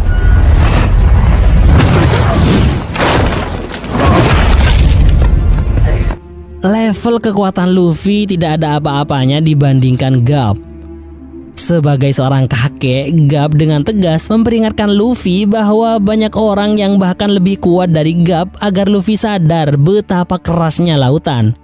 Namun meskipun sudah dihempaskan berkali-kali, Luffy tetap tidak goyah. Dia akan terus mengejar mimpinya untuk menemukan One Piece dan menjadi raja bajak laut. Hmm, akhirnya Gap pun menyerah. Bahkan saat melihat Luffy tertawa, dia malah teringat Roger saat akan dieksekusi. Hingga membuatnya melepaskan cengkramannya kepada Luffy dan juga mulai melepaskan tawanya. Setelah itu, dia memerintahkan anak buahnya untuk segera pergi menangkap bajak laut Arlong. Nah, saat semua pasukan sudah beranjak pergi, eh si Kapten Nezumi yang tidak terima jika Gap malah membiarkan kelompok topi jerami saat itulah Nami yang jengkel kepada orang ini langsung mementungnya. Lalu sebelum Gap pergi, dia kembali mengingatkan Luffy agar berhati-hati dalam mengarungi lautan. Gap sadar bahwa dia tidak akan pernah bisa menggoyahkan impian cucunya itu. Keesokan harinya, Nami berziarah ke makam ibunya untuk mencurahkan isi hatinya tentang kemenangannya melawan bajak laut Arlong. Tak lama kemudian, Nojiko datang untuk memberikan dukungan penuh kepada sang adik serta melihat kondisi lengan Nami yang kini tatonya sudah dirubah menjadi lambang kincir angin dan jeruk sebagai pengingatnya akan desa Koko dan ibunya. Nojiko yang tahu bahwa Nami akan mengarungi lautan bersama kelompok topi jerami hanya bisa mengingatkan Nami bahwa sejauh apa pun Nami pergi, desa Koko akan selalu menjadi rumahnya. Di sisi lain, saat Luffy sedang bersantui ria di rumah Nojiko, tanpa disangka Kobi muncul untuk memberikan sesuatu yang sangat diinginkan Luffy dalam menjalani karirnya sebagai bajak laut. Itu tak lain adalah poster buronan dengan nilai tertinggi di S Blue, 30 juta berry, mengalahkan nilai buronan Arlong yang hanya 20 juta berry. Ternyata itu merupakan kerjaan Kapten Nezumi yang marah kepada Luffy dan kelompoknya sebagai wujud balas dendamnya. Padahal itu malah membuat Luffy kegirangan. Kemudian sebelum Kobe pergi, mereka saling berpesan, meskipun berada di posisi yang berseberangan, tetaplah menjadi orang baik. Setelah itu, segera Luffy memperlihatkan poster buronannya kepada teman-temannya dengan rasa bangga yang luar biasa. Mulai hari ini, Luffy dan kelompoknya akan melewati lebih banyak rintangan dan kesulitan, sehingga mengharuskan mereka semua untuk bersiap siaga. Karena peta Grand Line sudah berada di tangan Nami, maka perjalanan menuju Grand Line akan segera dimulai. Di sisi lain, poster buronan Luffy segera menjadi perbincangan banyak orang, mulai dari Zeff, Kaya, bahkan Makino yang malah senang dengan poster buronan itu, menandakan bahwa Luffy benar-benar berjuang keras untuk menjadi bajak laut. Bahkan Sheng yang saat itu berada di tepi pantai diberikan informasi tentang poster buronan Luffy oleh Mihawk Yang mana dari sini diketahui bahwa ternyata sejak dulu Shang sering membanggakan Luffy, bahkan menceritakannya kepada beberapa orang termasuk kepada Mihawk ini. Maka nggak heran sebelumnya Mihawk memberikan kesempatan kepada Zoro dan Luffy. Lalu melihat poster Luffy membuat Shang dan kelompoknya sangat bahagia dan hampir nggak percaya bocil yang dulunya sering bermain dengan mereka kini sungguh-sungguh menjadi bajak laut. Bahkan dengan buronan yang cukup fantastis sebagai pemula. Dengan kebanggaan yang luar biasa, Sheng merayakannya dengan minum-minum bersama. Sementara itu, bagi yang melihat nilai buronan Luffy lebih besar darinya membuat si badut konyol itu jengkel dan berencana untuk menghabisi Luffy suatu saat nanti. Di mana ternyata di sisinya ada Alvida, bajak laut pertama yang dikalahkan oleh Luffy. Dia terlihat akan beraliansi dengan si Bagi untuk menghancurkan Luffy dengan motif balas dendam. Di lain tempat, Gap yang melihat poster buronan Luffy ternyata malah sedikit menampakkan kebanggaan terhadap cucunya itu. Bukan karena Luffy menjadi bajak laut, tapi lebih kepada tekadnya yang kuat untuk meraih impiannya. Lagi pula Luffy tetap menjadi orang yang baik. Tak lama kemudian, Kobi dan Helmepo datang untuk bersiap menerima hukuman atas tindakan mereka sebelumnya yang telah menentang Gap. Akan tetapi, Gap menghargai rasa keadilan yang ditampakkan oleh Kobi dan Helmepo. Namun bukan berarti mereka bebas dari hukuman, karena hukuman yang akan diberikan oleh Gap merupakan sebuah kebanggaan yang tak sembarangan orang bisa mendapatkannya, yaitu pelatihan khusus dari Gap secara langsung pelatih keras yang akan menjadikan mereka berdua sebagai angkatan laut hebat di masa mendatang. Selain untuk mencetak generasi baru, Gap juga ingin mereka berdua menggantikan posisi Luffy sebagai keinginannya untuk dijadikan sebagai angkatan laut terhebat. Karena Luffy ya sudah tahu sendiri, ingin menjadi bajak laut, bukan angkatan laut. Tanpa disadari, kata-kata Zeff sebelumnya telah merasuki pikiran Gap, di mana saat ini sudah bukan era bagi Gap dan yang sepantaran dengannya, termasuk Zeff, karena sekarang adalah era bagi para anak muda ini. Akhirnya, latihan super keras dari Gap menanti Kobe dan Helmepo. Di sisi lain, Luffy dan kelompoknya sudah berlayar dari kepulauan Konomi. Namun ada sesuatu yang sedikit berbeda di kapal Going Merry di mana di bagian belakang kapal ada tiga buah pohon jeruk yang dibawa dari desa Koko untuk menyenangkan Nami yang baru saja mengalami hal yang sangat memeras perasaan. Nah, sebagai wujud terima kasih serta kebanggaan para kru kepada Luffy, sang kapten kapal, mereka membuat Jolly Roger dengan gambar yang lebih rapi serta ada gambar topi jerami di atasnya. Melihat itu, Luffy terkejut dan hampir nggak bisa berkata-kata saking senangnya. Setelah itu, ada sebuah kejanggalan bagi Nami saat melihat peta menuju Grand Line. Karena untuk masuk ke Grand Line, di peta diperlihatkan jalur sungai. Tapi anehnya, aliran sungai itu malah harus melewati sebuah gunung. Bagaimana bisa aliran sungai mengalir dari bawah ke atas? Hmm, tapi Luffy nggak mau ambil pusing, apa candeki lah. Kemudian Sanji memanggil Luffy dan menunjukkan sebuah tong. Luffy yang mengerti maksud Sanji akhirnya memanggil semua kru untuk berkumpul dalam rangka merayakan acara keberangkatan menuju Grand Line. Diawali oleh Sanji yang mengangkat kakinya seraya mengatakan impiannya untuk menemukan All Blue. Kemudian Luffy yang ingin menjadi raja bajak laut. Zoro yang ingin menjadi pendekar pedang terhebat di dunia. Nami yang berencana akan menggambar peta dunia dan yang terakhir adalah Usop yang bercita-cita menjadi prajurit pemberani di lautan. Inilah kru bajak laut topi jerami yang akan segera menuju Grand Line. Di akhir season ini diperlihatkan seseorang berambut putih yang membakar poster buronan Luffy menggunakan cerutunya. Mengapa saya membahas serial ini meskipun sepertinya sudah ketinggalan jauh dengan yang lain? Alasannya adalah anime One Piece merupakan salah satu anime yang saya ikuti mulai dari zaman televisi tabung sekitar tahun 2003 atau 2004. Ya, saya lupa. Saat itu saya masih duduk di bangku kelas 5 Madrasah Itidaiyah. Entah kenapa vibesnya waktu itu sangat menyenangkan dengan lagu openingnya yang sangat memorable banget. Hingga kemudian saya terus mengikuti kisahnya lewat warnet meskipun secara sembunyi-sembunyi karena terkait aturan. Dari situlah saat poster live action anime ini bertebaran di media sosial, awalnya saya nggak percaya masa One Piece ada live actionnya dan ternyata setelah nonton dari awal sampai selesai 8 episode, ternyata sungguh luar biasa dan saya ingin mengabadikan momen menonton saya dalam konten ini. Ya akhir kata dari saya, semoga serial live action ini akan terus berlanjut. Terima kasih sudah menemani saya bercerita. Semoga terhibur dan sampai jumpa pada video selanjutnya.